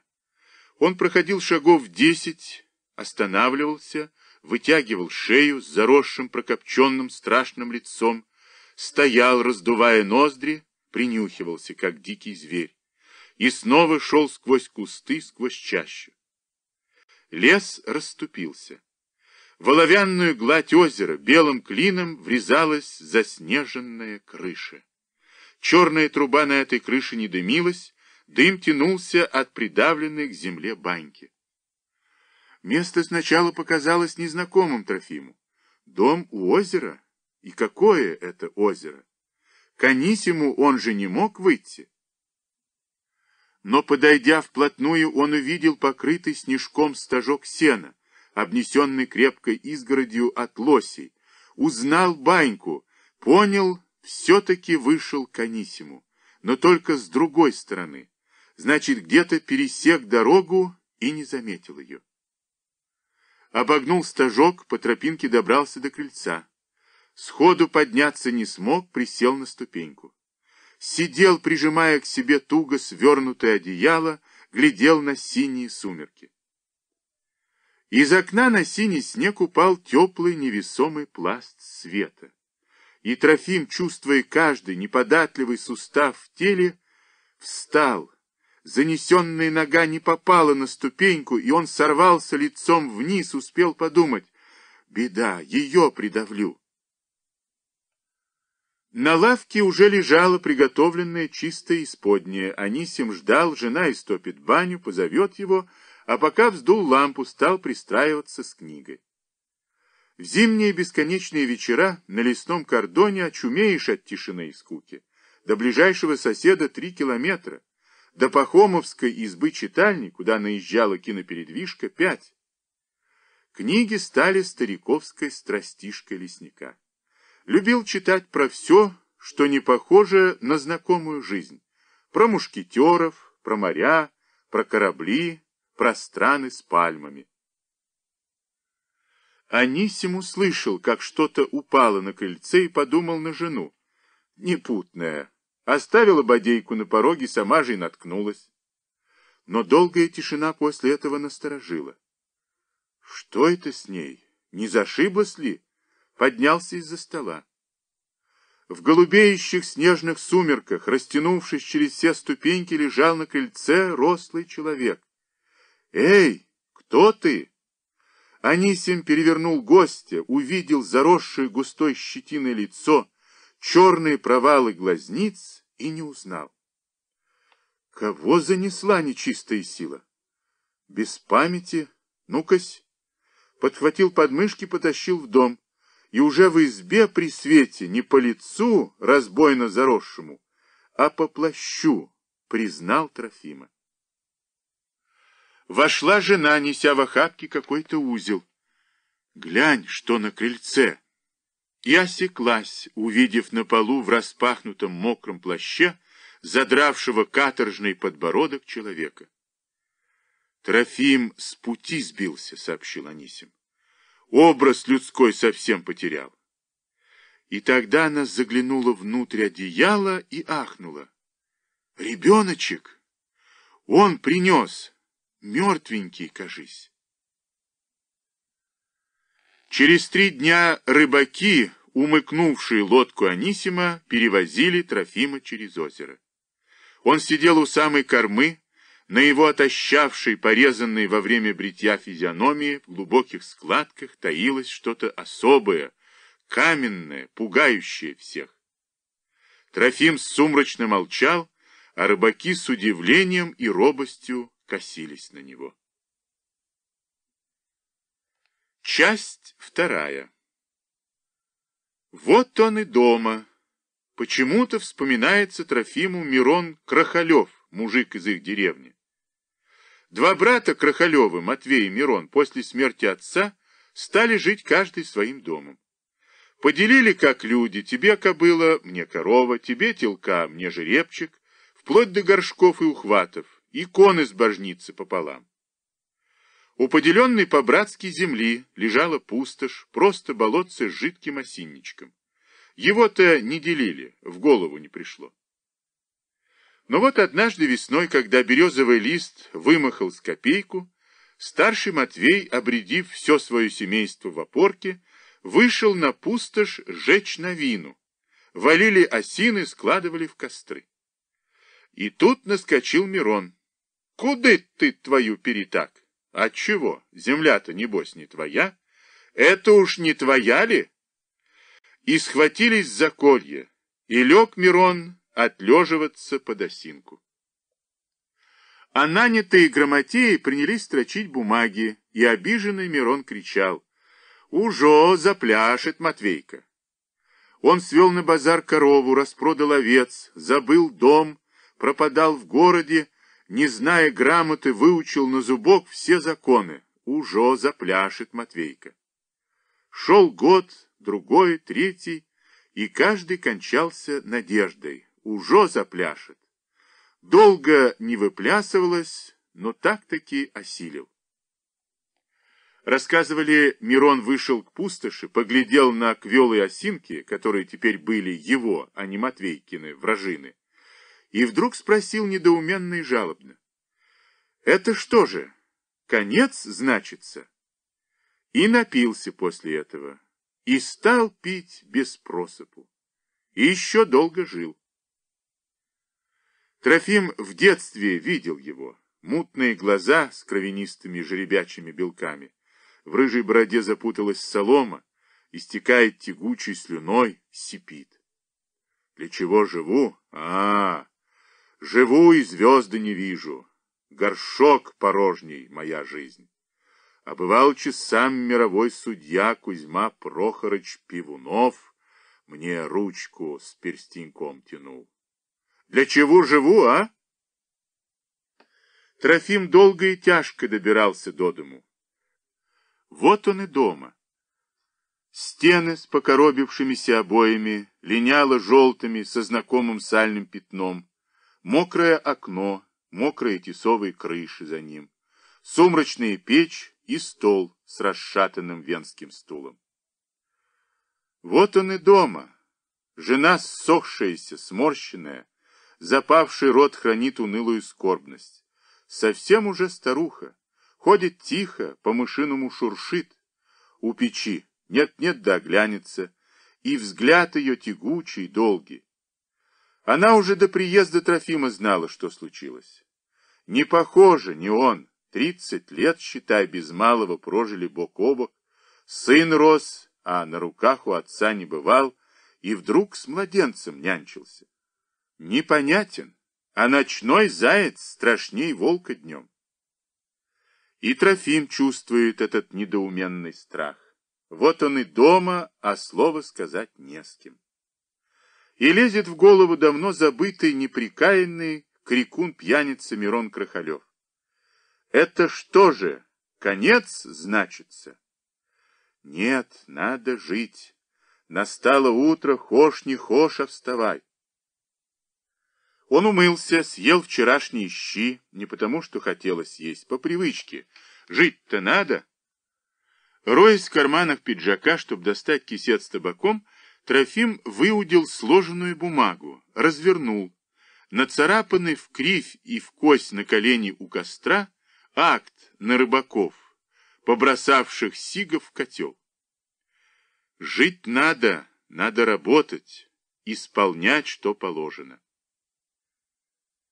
Бревенчатый городишко, плоский, голый, крытый темным тесом, разогнавшись грязными улочками, казалось, ударялся прямо в непробиваемое серое небо. Такое ощущение, что там, за крышами крайних домов, обрывается земля. Впрочем, так оно и было. Земля обрывалась, начиналось озеро одно из многочисленных в этом краю озер. Бревенчатый городишко, он начальствовал над спрятавшимся в леса и болота деревеньками и селами. Здесь были учреждения, без которых не обходится ни один райцентр. Среди них контора в тупичке улицы, выбегающие на берег с подслеповатой вывеской «Районная инспекция рыбоохраны», быть может, самая неприметная. Они не шумели на собраниях, ее не разносили, не прорабатывали, не славили в печати.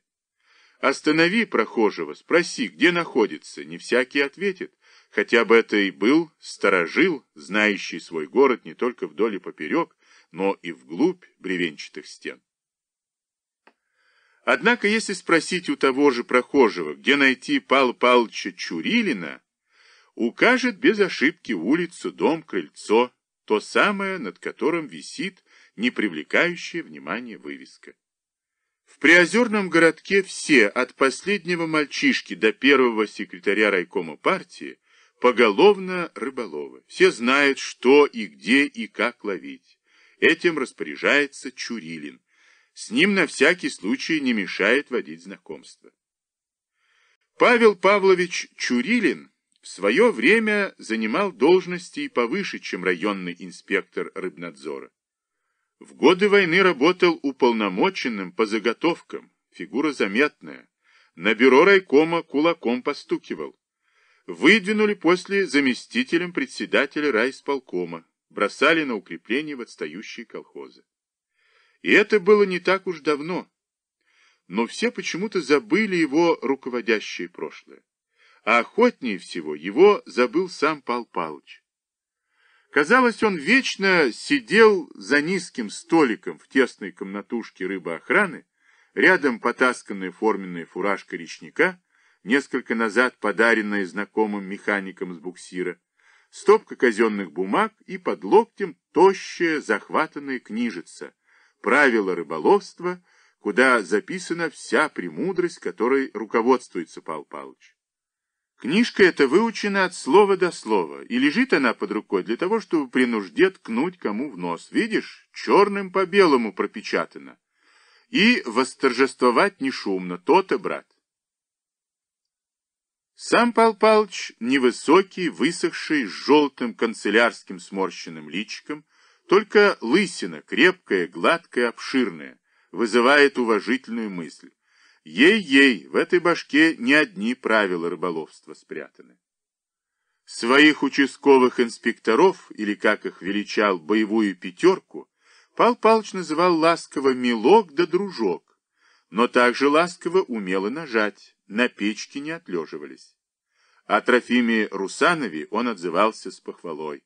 «Мертвая хватка, нам такие волкодавы нужны», и держал его в черном теле.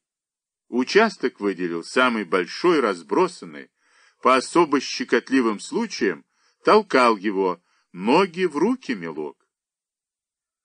Трофиму нужно было заявиться к Пал Палчу, а раз заявиться, значит отчитаться, а раз отчитаться, выложить на стол акт на рыбаков. Пал Палыч прикрыл бумагу крепенькой рукой в золотистой шорстке, от глаз к остаткам волос потянулись улыбчивые морщинки. Явился герой. Что, милок, попал в переплетик? А ведь, гляди, даже с виду изменился. Как думаешь, Розалия Амфилохиевна, изменился он? В тесной конторе, кроме Пал Палыча, постоянно находился еще один человек. Женщина с унылым лицом, сильно косящая на один глаз, счетовод и кассир, делопроизводитель и даже уборщица по совместительству. Она была туга на ухо, потому упорно молчалива, но это не мешало Пал Палычу поминутно обращаться к ней за подтверждением. А так ли я сказал? Причем имя ее, Розалия Амфилохиевна, он выговаривал с особым вкусом. Розалия Амфилохиевна не подняла от своего стола лица, не взглянула на Трофима, ответила невнятно «бу-бу». «Ты глянь», — попросил Трофим, — «дело-то копеечное». Пал Палыч опытным взглядом окинул мятую бумажку, отложил. «Ну и славненько». Что славненько? То, что наскочили, передадим куда следует. Штрафанут для порядка. Верно, Розалия Амфилохиевна?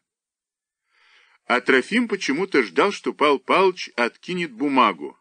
Крохоборничаешь, дружок мой милый. Случалось и такое. Но тот не оттолкнул, и у Трофима появилось чувство острой неловкости. А так ли делаем? Грех-то невелик, простить бы можно, произнес он хмуро. Пал Палыч кольнул взглядом Трофима. Раз невелик, зачем его до меня нес? Взял бы, да и простил сам. А Трофим и сам не знал, зачем принес. Скорее всего, по привычке. Написана бумага, нужно донести. А коль принес мне в зубах, я покрывать не намерен. Вдруг, скажем, Розалия Амфилохиевна решит на принципах настоять, черкнет на нас заявленница, так, мол, и так попустительствуют. Кому первому ударят по шапке? Мне? Не тебе? Розалия Амфилохиевна не расслышала. Думала, Пал Палыч обратился к ней с вопросом, ответила «Бу-бу». И Трофима рассердила ерошничество. Ты и покрупней грехи покрывал. Припомни-ка, в прошлом году акт тебе принес на целую компанию, сети в нерестовые ямы кидали. Этот акт пропал, словно с кашей его съел. Почему бы это? Почему? Скажу, не утаю.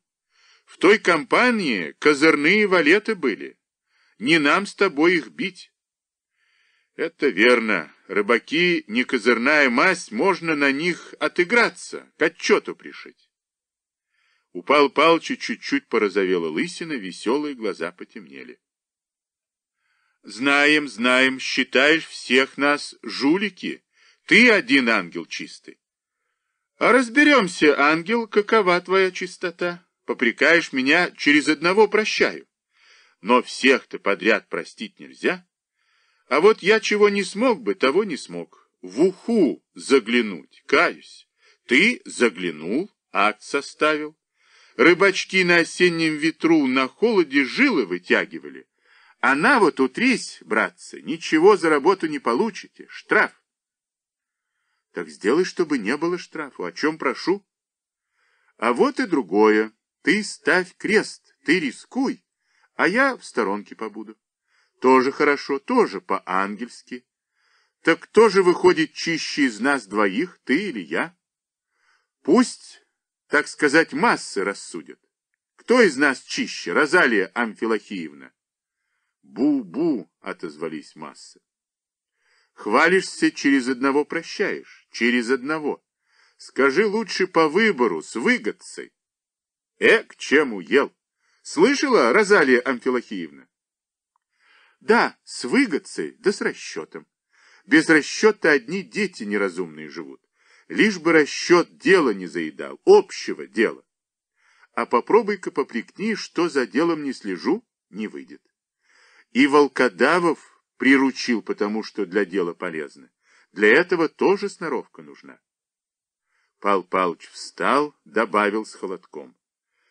Только смотри, портишься что-то, волкодав. Не стареешь ли? Коль зубы выпадут, мне не нужен. Розалия Амфилохиевна, навесив нос над счетами, щелкала костяшками, шуршала бумагами, один ее глаз глядел в бумаге, другой мимо стола на сапоги Трофима. Трофим вышел раздавленный, волоча тяжелевшие ноги. Похватали душу, ощупали, как старый пиджак на базаре, показали тут дыра, тут прореха. Ты дорожишь, а вещь-то ничего не стоит. Хочешь неси, хочешь выброси. Темные бревенчатые дома, осевшие в землю, жмурились из-под крыш, мокро отсвечивающими оконцами и вид у них под промозглым дождем был довольный. Прежде Трофим в окружении этих домов жил, не размышляя и не мучаясь. За бревенчатыми стенами, будь начеку, коротают век те, кого ты должен подозревать. Подозревай, нужно для дела. А упал Палча за его спиной свой расчетец. Простак, волк, ловит хвостом в проруби рыбку лисички. Домой рвался из лесу, а теперь хоть обратно в лес беги. И вспомнилось. Не далее, как позавчера, они втроем, Анисим, его жена, он, Трофим, еще не бритый, сохранивший вынесенную из леса одичалость, с дрожащими от слабости коленками, вышли на берег Пушозера. На взлобке, где по суше, под узловатой сосенкой, Анисим ткнул раз десять заступом, вырыл могилку. Жена Анисима, прежде чем положить трупик девочки в землю, сурово спросила Трофима. — Как назовешь-то? — Чего, не понял Трофим. — Как назовешь-то, спрашиваю. Человек все-таки, не кошку хороним, не гоже, чтоб без имени в могилу. И от того, что у девочки не было имени, и от того, что назвать ее должен был он, как родня, как самый близкий ей, перехватило горло. Вот-вот на людях заплачешь, как баба. Трофим сморщился и махнул рукой. Как хошь назови. Ну, Анной, что ли? Когда уходили, Трофим оглянулся, и его только что умиравшего в осеннем лесу, чего только не наглядевшегося там, место могилки поразило своим невеселым видом. Тускло-темное, тяжелое, как чугунное изломи озеро, плоский в сырой сопревшей траве пригорочек, старушечья маслаковатая сосенка и еле приметный издали торфяниста траурный холмик. Уходит от него. И уже нельзя думаться, вернуться обратно, как возвращался к избушке или там в лесу к овражку. Неужели виновница не поплатится за этот холмик? налитое чугунной тяжестью озеро, скрюченная сосенка, божья старушка, торфянистый холмик. Никто не ответит. Неожиданно Трофим остановился посреди улицы. Ударила мысль простая, ясная средь других путанных, угарных. Она открылась, как свежее яичко в ворохе мусора. Найти нужно. Найти самому. Нечего рассчитывать, что другие найдут самому сделать доброе дело. Раз девка на такое смогла пойти, то она при случае отца родного отравит, мужа изведет, брата прикончит. Не должна безнаказанно жить. Найти, вытащить на белый свет. И чувствовал, как силы вливаются в тело. Жизнь снова обретала смысл. Торфянистый холмик под сосной, прольются на тебя еще вражьи слезы. Он не знал, что сделает с девкой.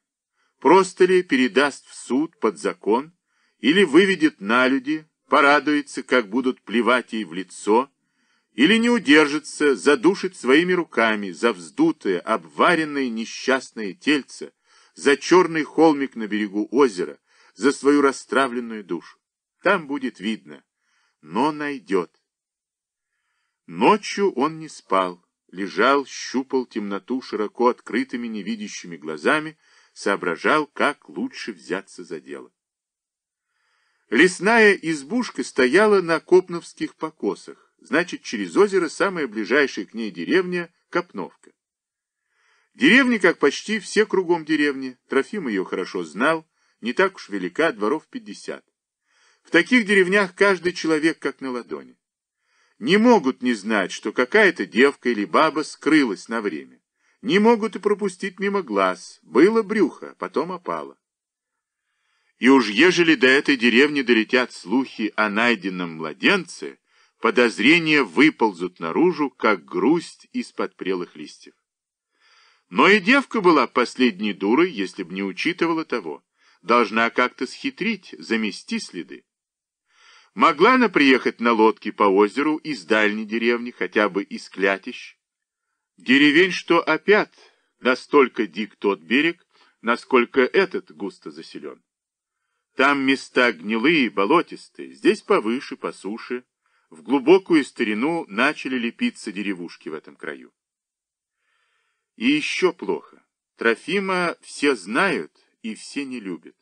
Не раз приходилось хватать за рукав деревенских рыбачков. Плохо и то, что слух о его истории расплывается по всем углам, а это может спугнуть девку. Лучше всего пожить бы в какой-нибудь подозрительной деревеньке недельку-две, не расспрашивать, а только слушать. Тогда наверняка дойдет, мол, та паскуда в курной избе ребенка кинула.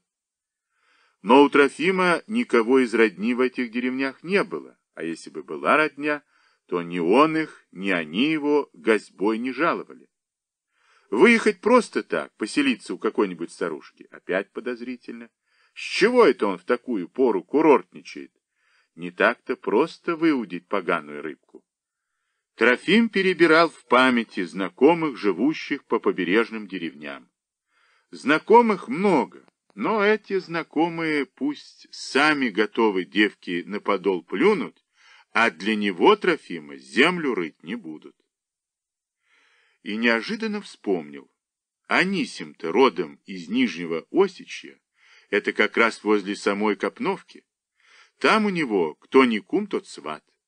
Анисим видел мертвую девочку, сам стервил, на чем свет стоит гулящую девку.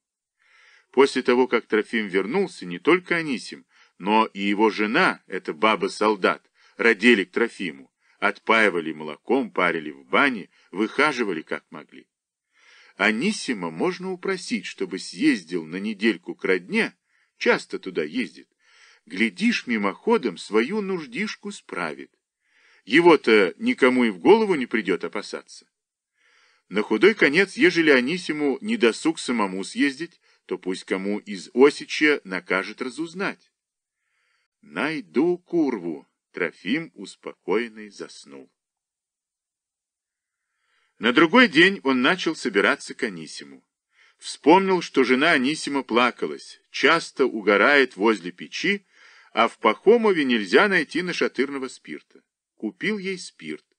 А так как дорога от аптеки шла мимо книжного магазина, Вспомнил про страстишку Анисима, завернул в книжные, куда еще никогда не заглядывал. Долго щупал книги, приглядывался к картинкам на обложках, выбирал поцветистее и потолще. Бог с ними, что стоит дороже.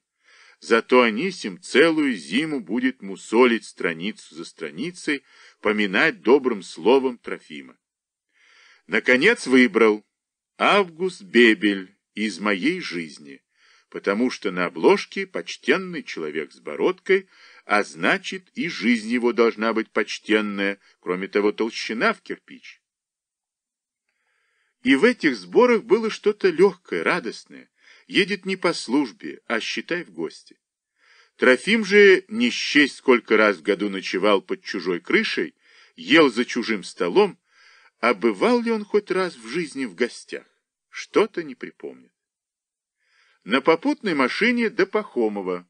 В Пахомове найти лодку нетрудно. И вот он снова у Анисима. Хозяйка приняла пузырек с нашатырным спиртом. Вот спасибо-то! В простенке на дощатой полочке между других книг уместился пухлый Август Бебель.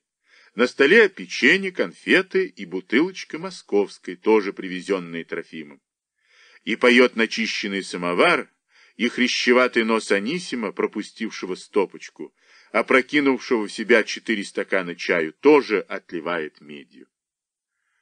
«Не могу, чтобы эта гнида жила безнаказанно», — говорит Трофим. «Ты уж мне помоги. Жизни нет, ни минуты покойны, все только о ребенке и думаю. Анисим отмалчивается, цедит сквозь жидкие усы из блюдечка чай, ждет, что скажет жена. Сейчас перед зимой начальство не тревожит, можно на месяц скрыться из сторожки. Но как жена? Одной в лесу бабе оставаться страшновато, хоть за много лет и попривыкла к берючей жизни. И дом не бросишь, корова, телка, подсвинок, ухода требует. А Трофим наседает. Святое дело землю от пакости очистить. Худую траву с поля вон. Ты же сам костил ее почем зря в прошлый раз. Вспомню, как девчонку-то зарывали. Или у тебя сердце луженое. Эх, да чего уж, как подумаю, варом обдает. Анисим молчал, а его жена сказала. Тебе легче станет, если к прежней беде новое нарастет. Это на кого беда? На сучку блудливую. И злому осоту не сладко, когда его с грядки с корнем рвут. От такой беды всем легче станет. Блудливая? А вдруг да горемыка разнесчастная? Мало ли обманутых вашим братом?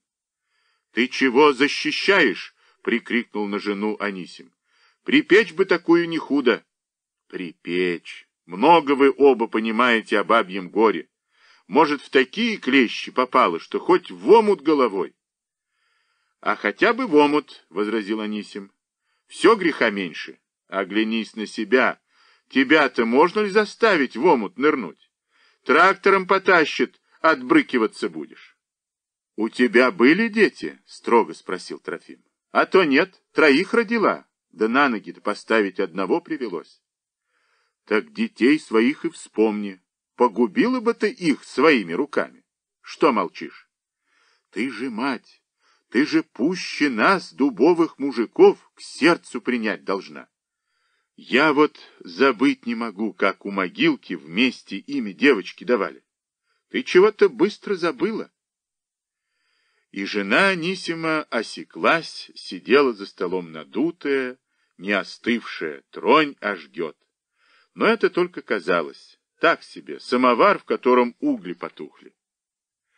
Анисим рассудительно заговорил. Припечь бы такую не худо, всей бы душой тебе помог. Но сам посуди, как уехать на неделю? В лесу-то в эту пору уж так не весело, что и мужик в одиночку, гляди, затрубит волком. А тут бабу оставить, будет она по ночам зеленых чертей гонять.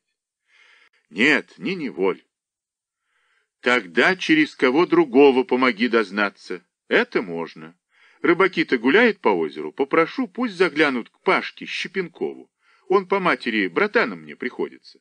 Мужик дошлый, а баба его на сажень под землей свежинку чует. Они-то разнюхают.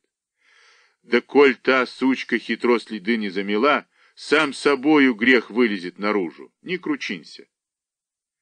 Большего добиться Трофим не мог.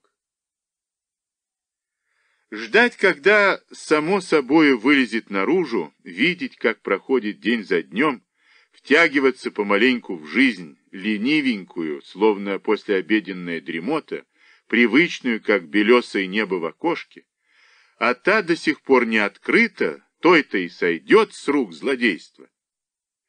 И уже начинают люди забывать историю, уже не судачат по домам и не оглядываются на улицах вслед Трофиму так и сойдет с рук. Не бывать этому. Найдем, за уши вытащим. Трофим потолковал с Пал Палчем. Не мешало бы прощупать пуш озера на всякий пожарный случай. На рынке сбывали незаконную рыбу. Не деревенские ли рыбаки чудачат?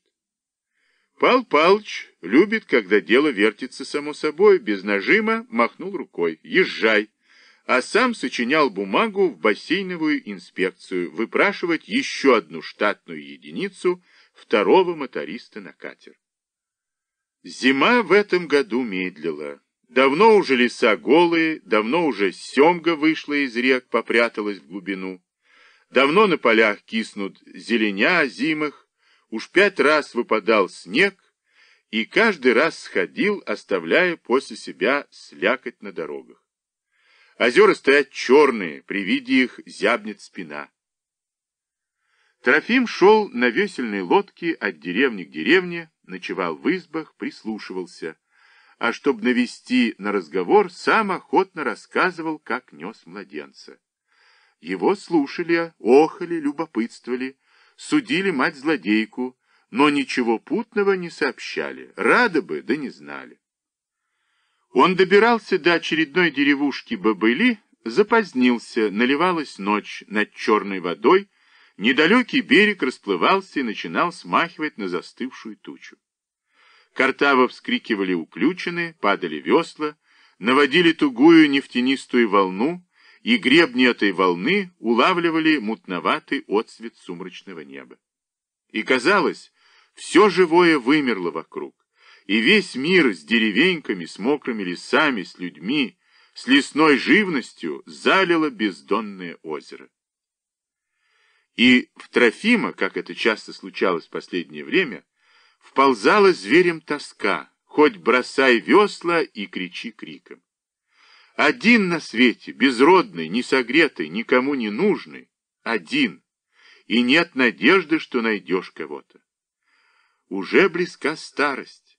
В его годы любой человек сидит как в шубе внутри семьи, дети, которых когда-то носил на руках, внуки, лезущие на колени. Ничего, голый, зябнущий, источенный злобой. Все эти годы злоба идет по пятам. Вот и сейчас сбежала из дому, ищет. А вдуматься, что ищет? Вскрикивают уключенные, всхлипывают весла. Лодка режет жирную воду, везет его в незнакомую деревню к незнакомым людям. И он будет считать удачей, если найдет, если растопчет ту, что ищет, и ему кажется, что от этого ему станет легче. В стороне от берега на воде теплился огонек. Единственная светлая точка в мокрой темени. Деревня-то далеко, светящихся окон не видно, единственное на весь обступивший мир, дрожащее, неверное, ласково зовущее к себе. И правое весло, само собой, налегло сильней. Само собой, нос лодки нацелился на огонек. Огонь на воде, огонь среди озера, где не бывало и нет никаких бакенов, мог означать только одно — лучат рыбу. Поздней осенью, вплоть до ледостава, в холодной воде рыбы дремлют. В эту пору у них на время остывает неумеренная жажда к жизни. Не рыщут с прежней энергией, кого бы сожрать, не прячутся, чтобы не быть сожранными, не увиваются возле самок. Трошки тупеют, как говорят в деревнях.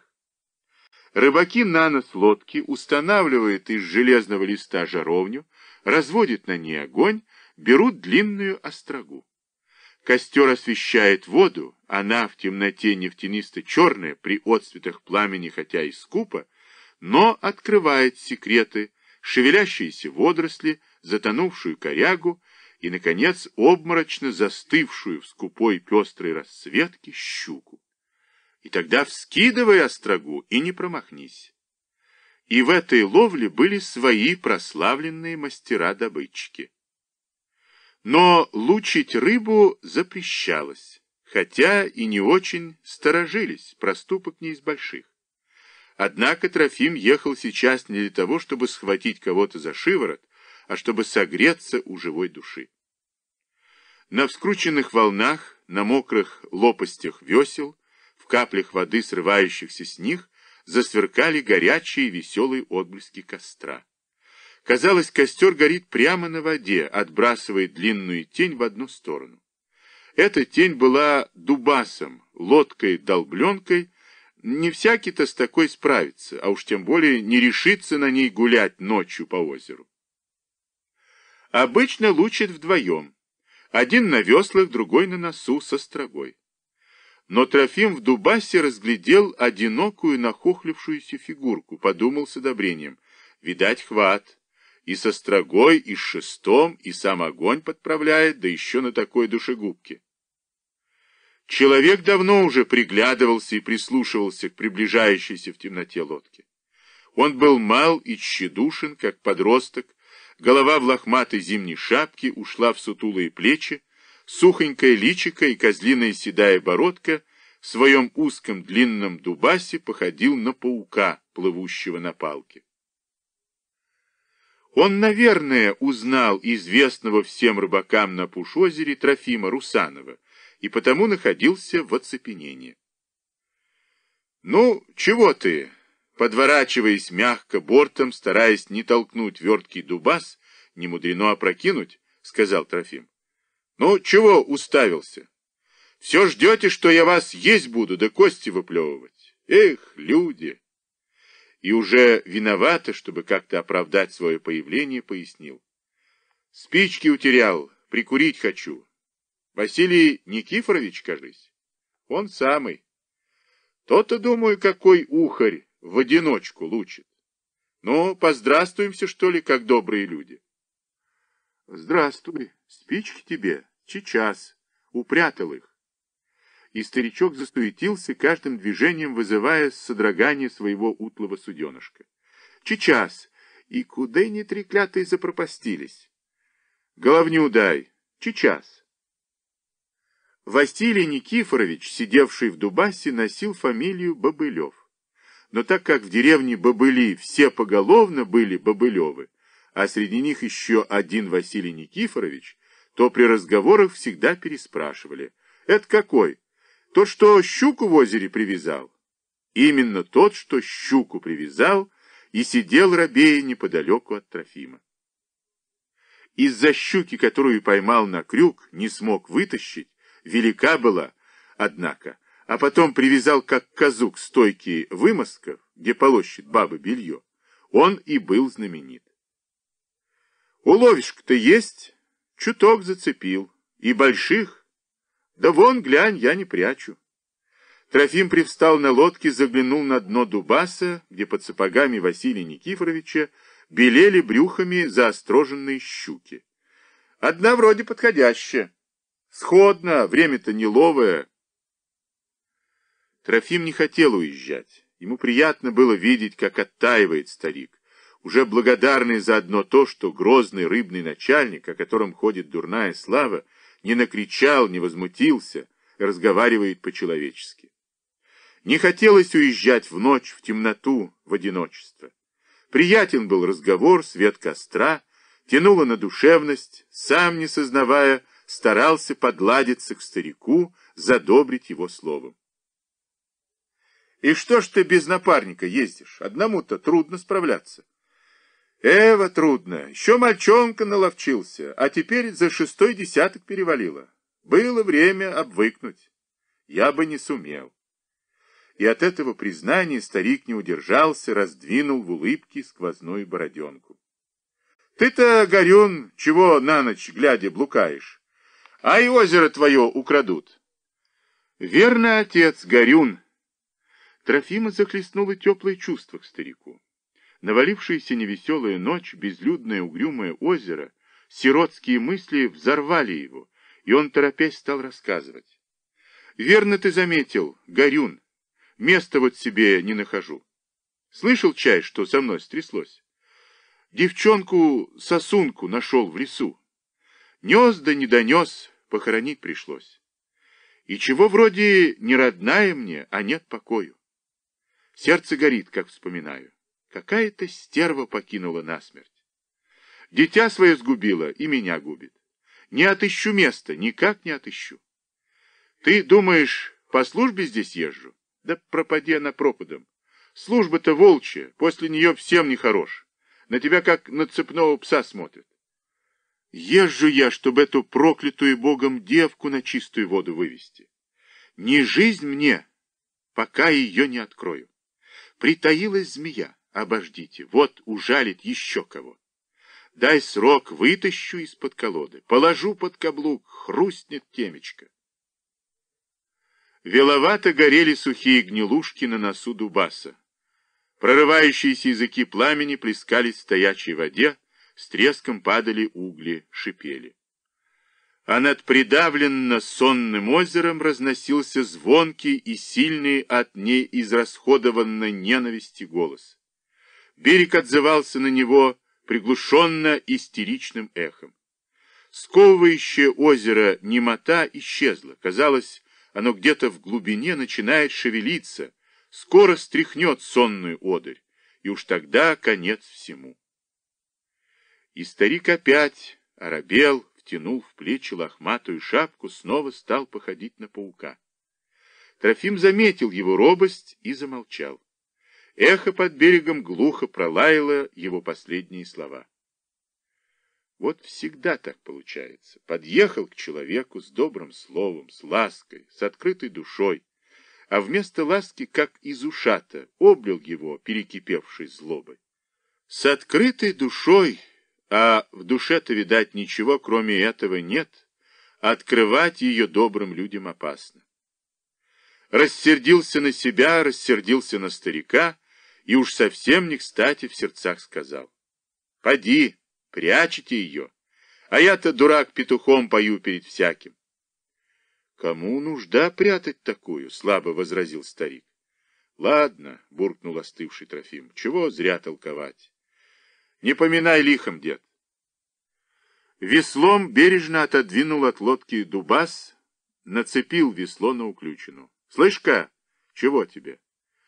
Народ поговаривает, э, чуял. Занесенные весла застыли над водой. Ну, чуял краем уха.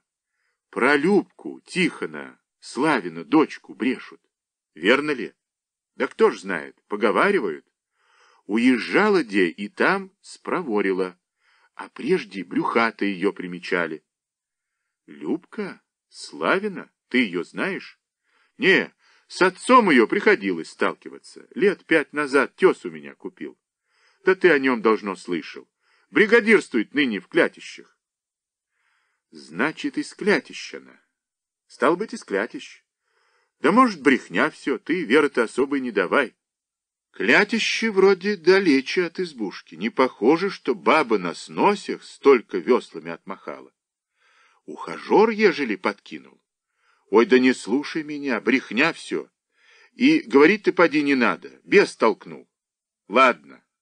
Трофим налег на весла. Клятище — самая дальняя деревня по берегу.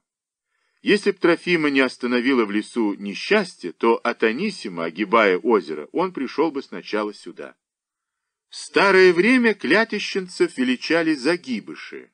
Крепкие мужики, строго придерживавшиеся старой веры, свято соблюдали посты, но и в посты ели так, как по другим деревням, дай бог на Пасху, пшеничные пироги с рыбой, загибыши, брюхо не в обиде и богу любо. Сама деревня громоздилась на берегу темными северными избами.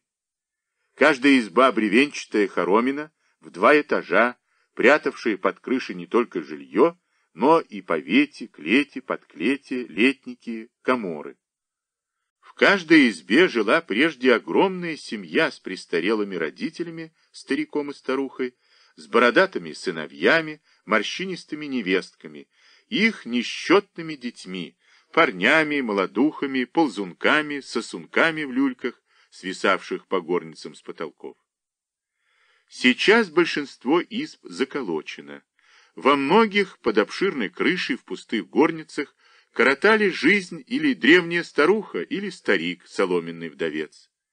Лесопункты все глубже и глубже забирающиеся в леса, сплавные участки, разбросанные по берегам рек и озер, перевалки, эти шумные внутренние порты по вывозке леса высосали народ из деревни. Молодежь год из года нанималась на сторону, вила гнезда за пределами клятищ. Громадные избы слепли одна за другой.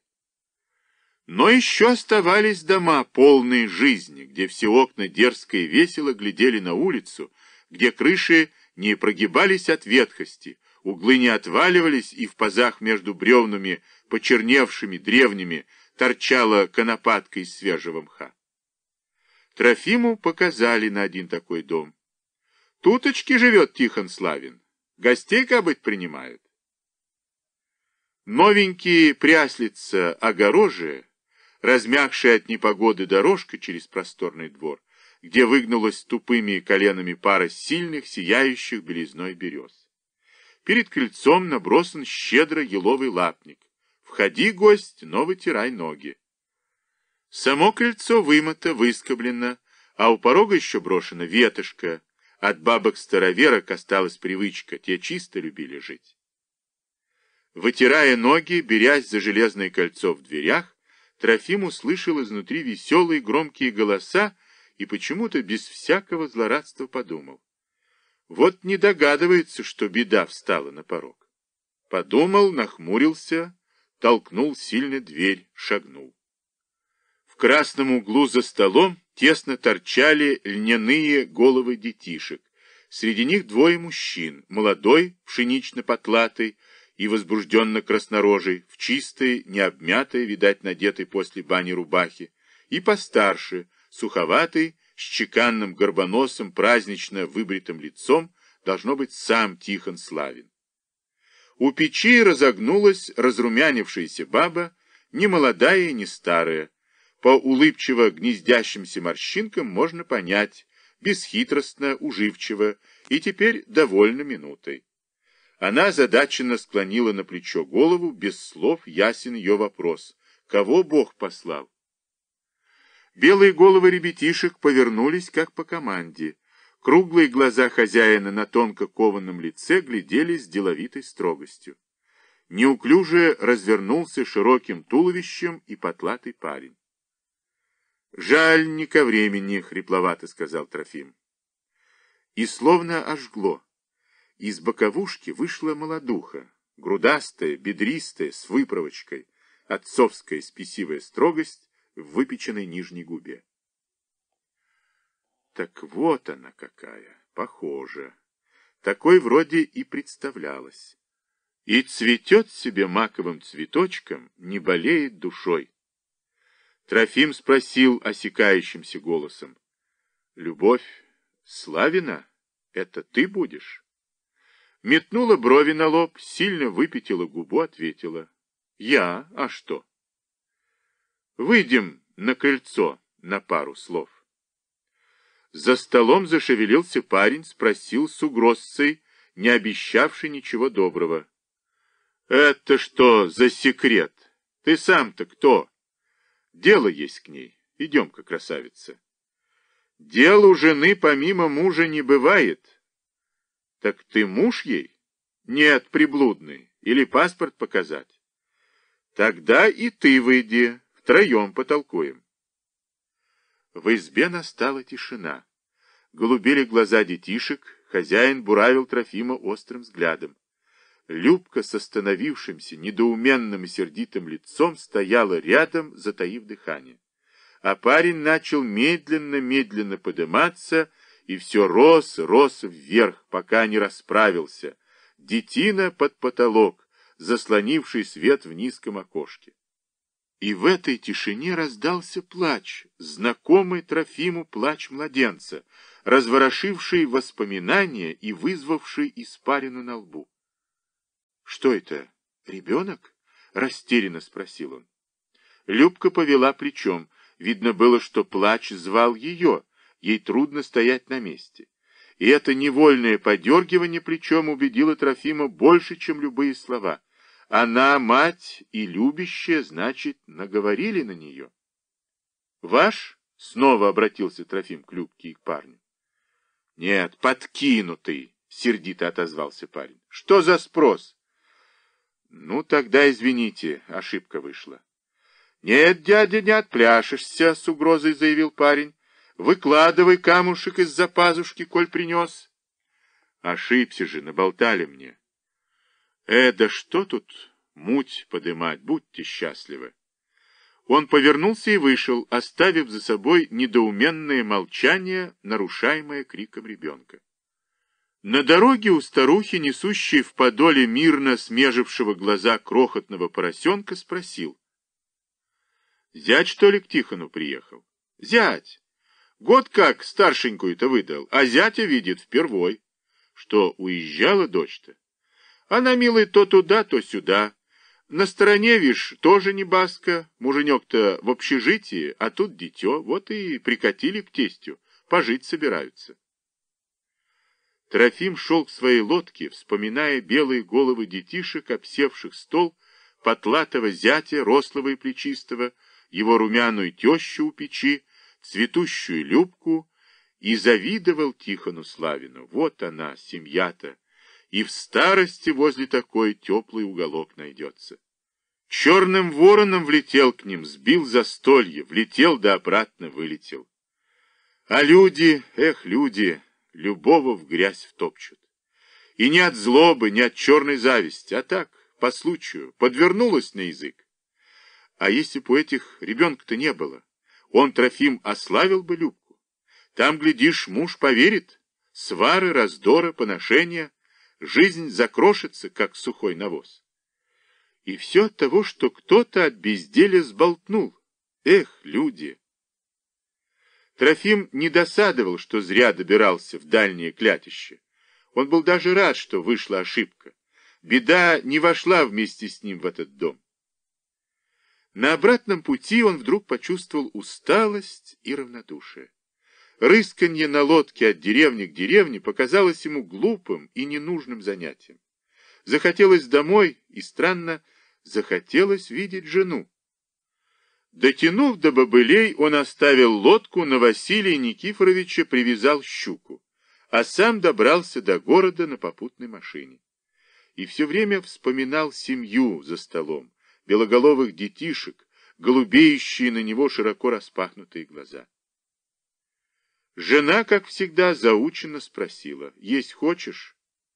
Он посмотрел, как она собирает на стол натруженные руки, ввалившийся рот, в затаенной скорби. И стало пронзительно жаль ее. Не видывала она с ним радости. Нет, не видывала. «Слышь, Нюра!» И она вздрогнула. Руки, расставлявшие чашки, стали двигаться по деревянному. «Почему мы с тобой никогда не потолкуем? Живем как глухие». За тридцать лет чай можно было обо всем наговориться. Ой, неправда. Сам знает, что врет. За эти тридцать лет они так и не успели поговорить друг с другом. Быть может, в первый год до исчезновения отца только и беседовали. Но тогда оба были глупы, оба не знали жизни. О чем они могли тогда говорить? Слышь, тебе, может, что-нибудь нужно, ты скажи мне. Ты только скажи. Она смятенно взглянула. На мятых щеках выполз румянец отвернулась, сжалась вся, руки по-деревянному двигались над столом. Так она сжималась, когда он в сердцах обзывал ее нехорошим словом. Утром, проснувшись, он услышал разговор за дверями. Жена жаловалась кому-то. «Пока дома нет, только и живу. Как приедет, хоть с глаз беги. Вчера, подумай-ка, спрашивает, чего тебе нужно? Ты только скажи, в лепешку расшибусь. Пойми, чего там у него на душе. А может, он вправду уноровить хочет? Спросил женский голос. Жизнь прожил, не ублажал, а тут на старости-то лет. Нет, неспроста, что это, боюсь его. Трофим заворочился на койке, и голоса смолкли. В комнату заглянула жена, спросила, пряча глаза. — Не спишь? Тут тебе из суда повестку принесли. Повестка была не из суда, а от следователя. Трофиму казалось, что следователь обомрет, когда услышит во всех подробностях о свершившемся злодействе. А тот вежливенько слушал, кивал головой, нет, не осуждающие, а, мол, понял тебя, верно говоришь, валяй дальше. Видать, он знавал дела и поважнее, чем смерть какого-то младенца, которому даже и имя-то не пришлось носить. «Что полагается за такое?» — спросил Трофим, сжимая за столом руки. Следователь потер лоб, равнодушно ответил. «Если бы она его сразу, ну, в беспамятстве, скажем, Условно бы дали даже простить могли, высказав, разумеется, общественное порицание. А так преступление с умыслом, с подготовкой при здравом рассудке. Тут строже, устало зевнул с растяжечкой. Конечно, если найдем. Как так, если найдете? По опыту знаю, раз такое примитивное преступление сразу не раскрылось, потом хоть лоб расшиби. И Трофим ушел в расстройстве. Увильнет блудница от наказания, и уж, видать, сердцем особо болеть не будет. Жди от кошки слез по мышке. И чувствовал, сам выдохся, вот что обидно. Уж нет желания, какое было, землю насквозь пройти, деревни вверх дном переворошить. Торфянистый холмик под сосной так и останется на всю жизнь укором Трофиму. Не оплатил сполна. Едва Трофим шагнул за порог, как жена накинула платок на плечи. Мария Савельевна зайти просила. Понял, боится, что снова набиваться на разговор по душам будет. Задержать бы сказать, ой, худо мне, не бегай, нужна. Так сказать, чтобы поверила, пожалела, глаза на него раскрыла, не волк, только приласкай, навек верная собака. Но жена вышла бочком, тихонько прикрыла дверь. Он разделся, сел за стол, как гость в чужом доме. Взглянул на ходики, до ужина еще час, а там сразу спать. По теперешнему положению самое веселое для него время, вроде и жив, и не замечаешь, как живешь. Потом утро, все начнется сначала, от завтрака до обеда, от обеда до ужина, Дотянуть бы до сна. В дверь кто-то робко поскребся. «Кто там? Входи!» Плечом вперед лицо опущено, платок низко надвинут. Сперва подумал старуха, а нет, молода. Остановилась у порога, уставилась в заляпанные грязью сапоги, молчит. «Что скажешь?» И вдруг ошпарила до костей догадка. «Неужто?» Стоит. Мужской обвисший ватник на плечах, легкий платочек, повязанный по старушечи, линялая ветхая юбка и громоздкие, покоробленные, не размягшие ни от грязи, ни от сырости сапоги. Молчит, прячет лицо, смотрит в пол. Трофим попробовал привстать, но ноги ослабели, выдавил. «Ну?» И она подняла голову. Рукой из слишком длинного рукава ватника, судорожно путаясь, стала рвать верхнюю пуговицу. Узел платка освободила горло. И опять ничего не сказала, только кривила губы. Она! Трофим поверил в это совсем, сама пришла. Круглое обветренное лицо, лицо деревенской девки, мало сидящей под крышей, круглые, выбеленные ужасом глаза — Острый, вздернутый, со сплюснутыми ноздрями нос, в своем обвисающем ватнике, словно воробей перьях старой кукушки. И из этого ватника белое, беззащитное, гуляющее под тонкой кожей горло. «Это ты?» Она что-то сказала непослушными синими губами. Трофим ничего не расслышал. «Ты или нет?» «Поведи меня, кому нужно». А Трофим боялся только одного — не выдержит при встрече, потеряет себя, вцепится в горло. И вот это горло близко, шагни и протяни руки, не отстраниться, белое, беззащитное и хрупкое. Вместо гнева в душе какая-то пустота и недоумение. Неужели это она? Не похоже. Поморщился, сейчас расплачется. Этого еще не хватало. Но она не плакала, глядела остановившимися глазами. «Зачем ты это сделала?» «Поведи меня. Жизни нет. Поведи меня, кому нужно. Зачем ты это сделала?» «Кабы меня кто убил, теперь ошибка. Теперь вот выздоровеет, коль узнает.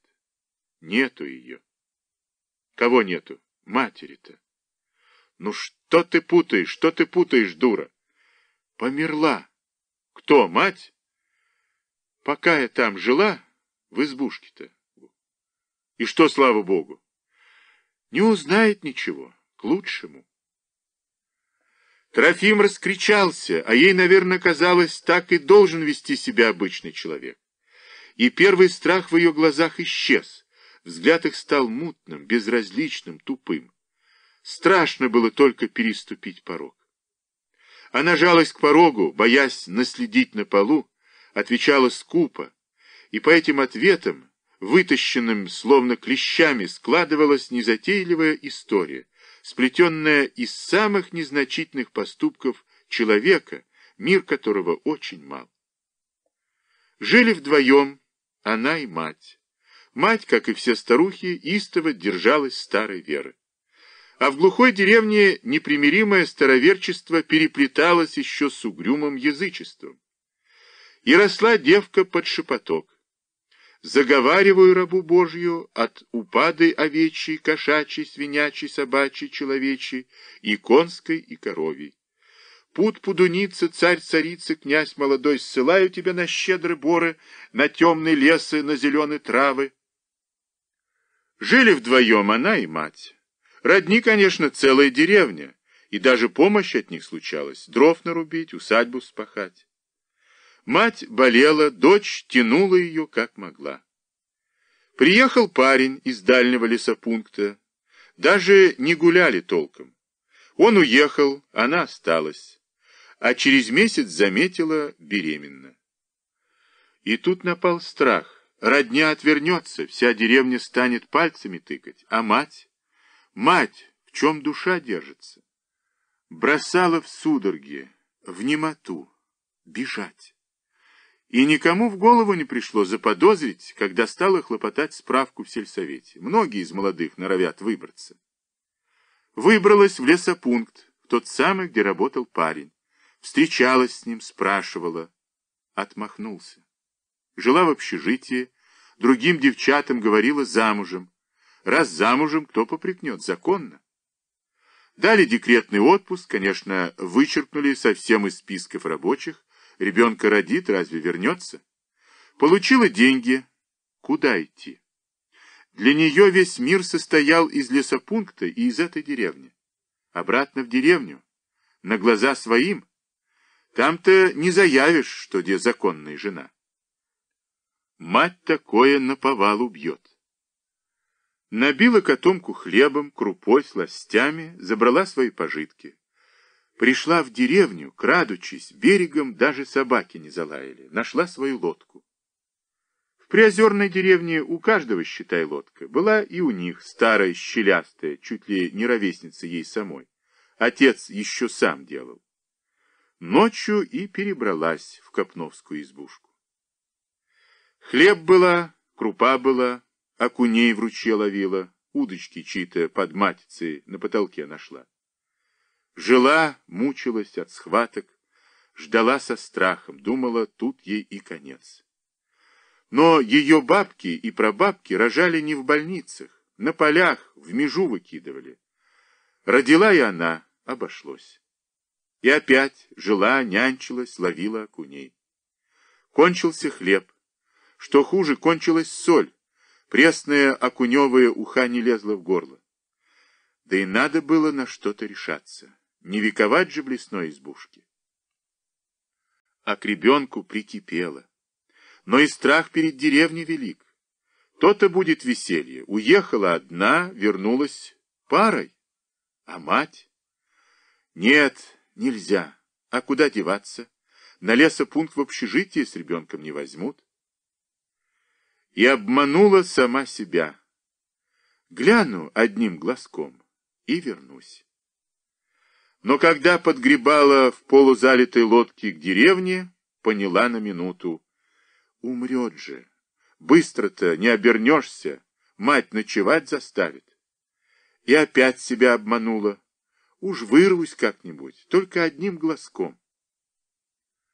А дома беда, двери распахнуты, соседи толкутся, мать лежит на столе. Ей была уже послана телеграмма на лесопункт и никто не удивился, что появилась в деревне. Одно горе задавило другое. Она вспомнила о ребенке, когда возвращалась с кладбища. Вспомнила равнодушно, так как жалела мать. Сразу жалеть мать и ребенка не хватило сил, да и, пожалуй, душевной широты. А в это время Трофим бродил по лесу с ее дочкой. Через два дня очнулась от угара, вспомнила, какие крохотные ноготки были на пальчиках девочки, как она спала на руках, как припадала к груди. Села в лодку, гребла со стоном, даже не вычерпывала воду. А изба встретила ее затхлостью, пустотой, холодом, валялись рваные тряпки на нарах, грязные следы на подметенном полу под каменкой, березовой полено, оставшиеся от охапки дров. И упала на пустые нары, рвала волосы, кричала дико «Господи! Господи!» Неуютный осенний лес молчаливо слушал ее надрывный голос. Примерно через неделю пришел слух в деревню, что у них по соседству за озером найден младенец. Всех особенно волновало, что по соседству событие, о котором судили и рядили во всем районе, оказывается, случилось рядом, а они-то и не знали. Слух дошел и до нее. Какие крохотные ноготки! Какие маленькие ножки высовывались из тряпок! Мучительно вспоминала, какого цвета были глаза, и не могла вспомнить. А по деревне бабы чехвостили злыдню, сгубившую дитя, а соседи жалели ее.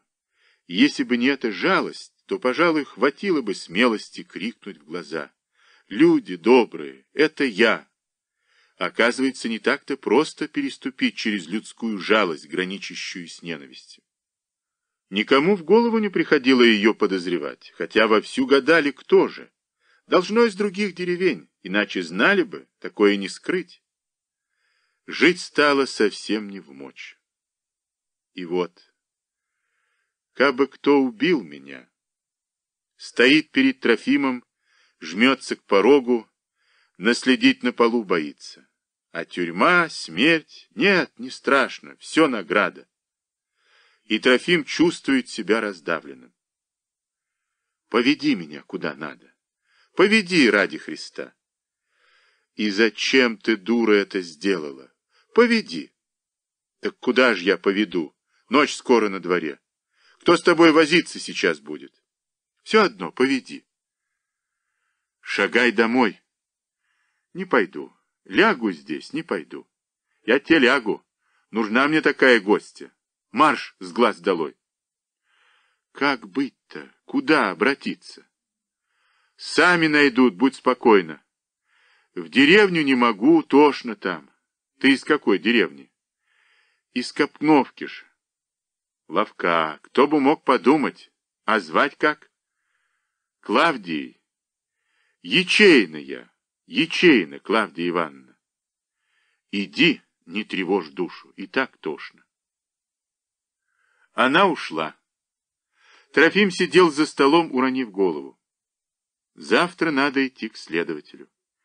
И уж ясно, тот не подпрыгнет от радости. Не такой она важный преступник. Преступник тоже мне. Эх, дура, дура.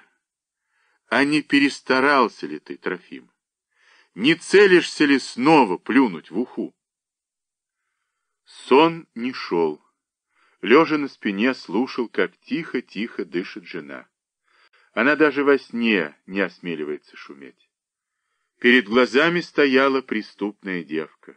Окаменевшее птичье лицо, остекленевшие пустые глаза и белое, нежное, взволнованно ходящее вверх-вниз горло. И эдакую-то считал людям страшна. Ах, дура! И зачем только? А что, ежели решиться? Ума хватит. Отстукивали ходики на стене, секунду за секундой склевывали время. А что, ежели в это самое время, вот сейчас, в темной избе? Трофим даже приподнялся. Стучали ходики, где-то далеко-далеко ворчала машина. Видать, какие-то бедолаги застряли на размытой дороге. Сейчас, может, кончается человеческая жизнь, а все кругом спят, все спокойны, некому схватить за руку, остановить. Ум-то мушиной, ей ведь не вдомек, что жизнь велика. Ох, велика, это перемелится, новое стрясется и снова пройдет. По ее аршину белый свет от околицы до околицы, жизнь скомориный век. Стучат ходики, и лениво-лениво волочится бесконечная ночь. Надо бы разрешить, черт с ней, пусть бы примостилась тут у порога, а завтра катись себе, объявляйся. А самому тащить эту дурочку за шиворот была охота. Спросят, все скажу, как было, не утаю. А хлопотать, чтобы прижгли, нет уж, не стоит того. А ведь выслеживал. По деревням колесил, берег обнюхивал. Тоже умен на поверку-то. Хотелось встать, накинуть пальто, бежать по ночи к черту на куличке. Опомнись, непутевая. Он не мог уснуть ни на минуту. Едва только слезливый рассвет просочился сквозь окно, осторожно, чтобы не разбудить жену, слез с постели, захватил одежду, оделся, достал из шкафчика горбушку хлеба, сунул в карман. Поговорит по-человечески, образумит, только б не опоздать. По дороге его нагнал ухорский расхлябанный грузовичок. Трофим проголосовал и проехал по Большаку до поворота на Копновку, а там рукой подать. Деревня Копновка встретила его дремотной тишиной начинавшегося осеннего дня. Стыли в промозглом воздухе голые ветви берез, раскачивающие на себе почерневшие скворечники, зеленели мхом ветхие крыши. Женщина, выскочившая из дому налегке, только голова туго обмотана большим платком, гнула к бревенчатому срубу у колодца спесивую шею журавля. И по этой неразбуженной тишине Трофим понял, в деревне ничего не случилось. Клавдия жива, стало стыдно, дурак он, однако, ночь не спал, сорвался ни свет ни заря, гнал столько километров, а для чего? Жива-здорова поди, и в мыслях-то не было. Но уходить ни с чем, когда уже прискакал сюда, глупо. Увидится, скажет по-свойски, чтобы не вздумала учудить, хоть этим себе наперед покой устроит. Эй, кума, где живет ячейна Клашка? Ты какой, которая померла? Померла? У нас двоих было, мать и дочь, обе Клавдии. Мать-то недавно царствие ей небесное. Дочь-то жива ли? Плачет все, сохнет по матери-то, никак не придет в себя сердешная. Да вон тем порядком пойдешь, так направо четвертый дом, сразу за Леонтием Елькиным, у которого возле калитки старый жернов лежит. Найдешь ли? И женщина долго смотрела вслед, должно быть, гадала, для чего понадобилась клашка ячейна этому самостоятельного вида мужику, которого, пожалуй, она примечала возле их деревни и раньше.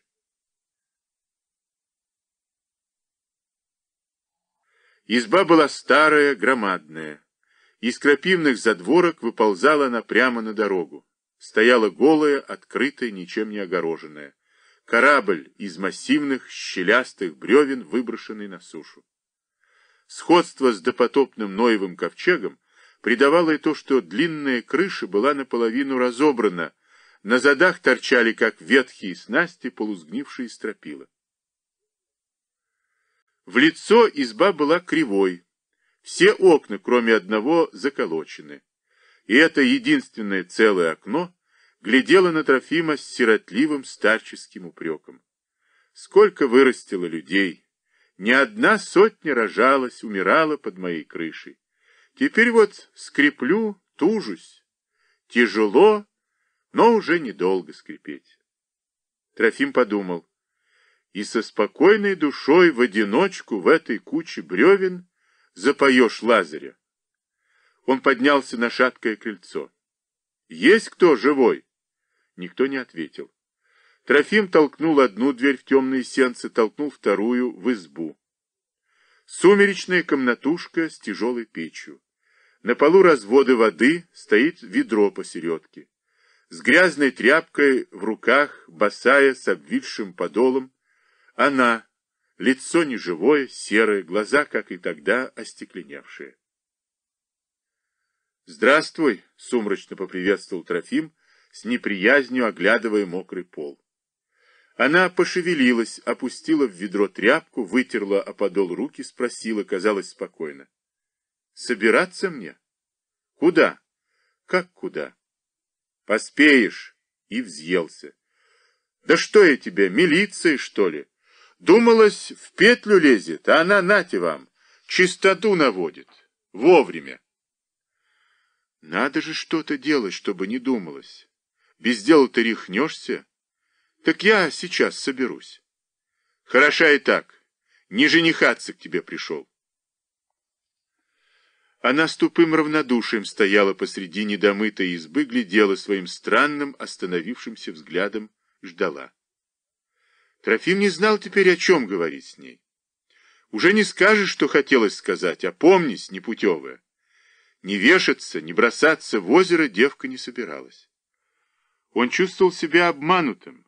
Особенно злило, что моет пол, наводит чистоту, значит, рассчитывает здесь жить. Теперь вижу, какая змея. Вижу. А вчера-то пожалел было. Она молчала, не двигалась. По-прежнему беззащитное белое горло, пустые глаза, сама в обвисшей юбке с опущенными руками, открытая, покорная. Вот я, без хитростей, ругай, казни, стерплю. И эта покорность взорвала Трофима. Прикидываешься овечкой-ярочкой, горлышко подставляешь. Режьте, мол, добрые люди. Расчетец немудренный, Кому охота на живого человека нож подымать? Кабы кто убил меня? Ха, кабы кто! Уж коль жить не втерпешь, чего просить? Найди гвоздь потолще, веревку покрепче. И она вдруг закрыла мокрыми руками лицо, колени подогнулись, рухнула на пол, сшибла ведро, потекла по полу серая жижа. Ну вот, растерялся Трофим. Она лежала, уткнувшись лицом в недомытый пол, сухие космы длинных нечесанных волос мокли в разлитой луже, узкая спина с выпирающими косточками содрогалась под тонкой кофтой. Трофим глядел на нее и молчал. Бежал же с добром, спасти хотел, а вместо доброго слова нож под ребро. Разве не распроклятый? Эй, девка, да хватит, хватит, нечего зря-то. Она беззвучно рыдала. Да право, ну, сорвалось с языка. Не хотел обидеть. Встань, давай, встань. Дотронулся до плеча, головы не подняла, вздрогнула, поежилась. И он распрямился, затоптался, кося на нее, глаза не зная, что делать. «Встань!» — попросил он. «Поговорим по душам». Плечи ее перестали сотрясаться, но продолжала лежать, как и лежала. Концы сухих волос мокли в грязной луже на полу. Он неуклюже присел, подобрал волосы, с робкой неловкостью положил ей на спину. «Слышь, я зла тебе не хочу. Я и бежал-то сейчас, за тебя боялся. Слышь или нет? Боялся же, сердце кровью обливалось». Она зашевелилась оперлась на ослабевшие руки, приподнялась, села. Заляпанная кофта, грязное лицо, сбившаяся юбка, открывает острое голое колено, дрожащими пальцами провела по волосам. И только сейчас он заметил под грязными разводами на лице нездоровую прозрачность кожи, удручающую синеву под глазами. Понял, что она больна, и сжалось сердце. Она со всхлипом, как ребенок после плача, вздохнула, виновата с какой-то усталой простотой сказала. Боязно. Хотела, да боязно. Ты о чем? О том, что ты говорил. Брось это. Чего зря на людей-то надеяться? Самой надо. Брось, я же в горячах, дернула за язык. Забудь. от жалости, от страха, чего доброго надоумил, стал смелее, взяв за плечи, помог подняться, подвел к лавке. Поговорим по душам.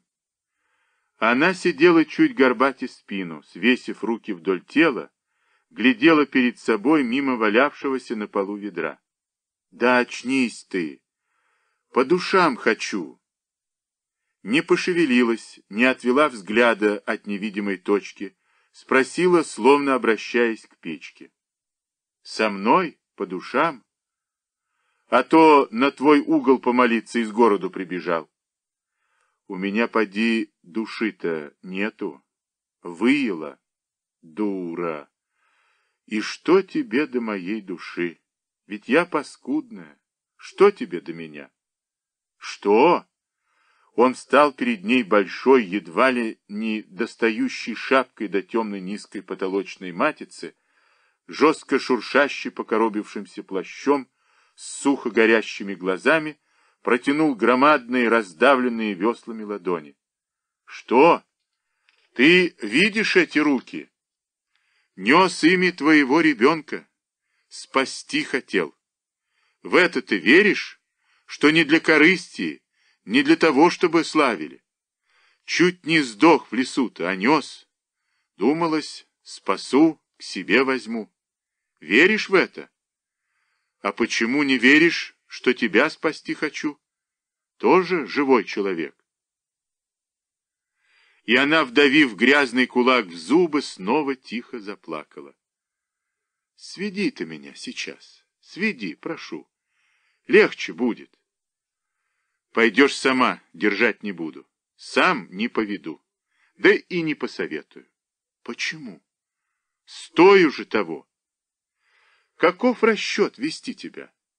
Ну, накажут, ну, срок дадут, упрячут тебя вместе с воровками да гулящими.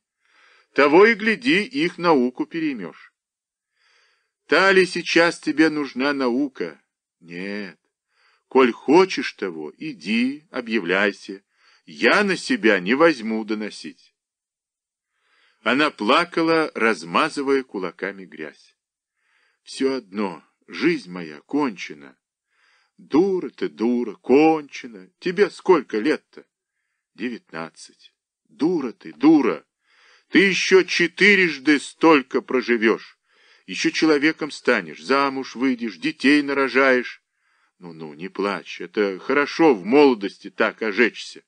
Помнить будешь, как самой больно было, а значит и других поймешь, у кого что болит. У меня жизнь тоже косо вышла. Я вот тебе помогу, может, и ты, когда кому поможешь, не отплюнешься, не открестишься. Она плакала, а он стоял над ней и говорил грубо и властно, пряча нежность и жалость. Она растирала кулаком слезы, убито смотрела в сторону, слушала. После первых морозов, когда озеро сковало льдом и от деревни Копновки до лесной избушки можно дойти прямиком, не замочив ног, Трофим отправил Клавдию на лесопункт, дал денег и грубоватое наставление. «Не живи дикой-то!» А она всплакнула. Бывают же такие люди на свете. Они расстались, он шагал по чугунно смерзшейся дороге, бережно нес в себе благодатную усталость путника, дошедшего до конца пути. И еще с такой усталостью после погожего весеннего дня возвращался с поля, вспахано, засеяно, гудят кости. Больше о Клавдии он не слыхал. До сих пор он работает на старом месте, случается, хватает за рукав слишком развольничавшихся рыбаков. Дело есть дело, не все святы и честны, кто-то должен наводить окорот. И многие по привычке зовут его Коргой. 1965 год.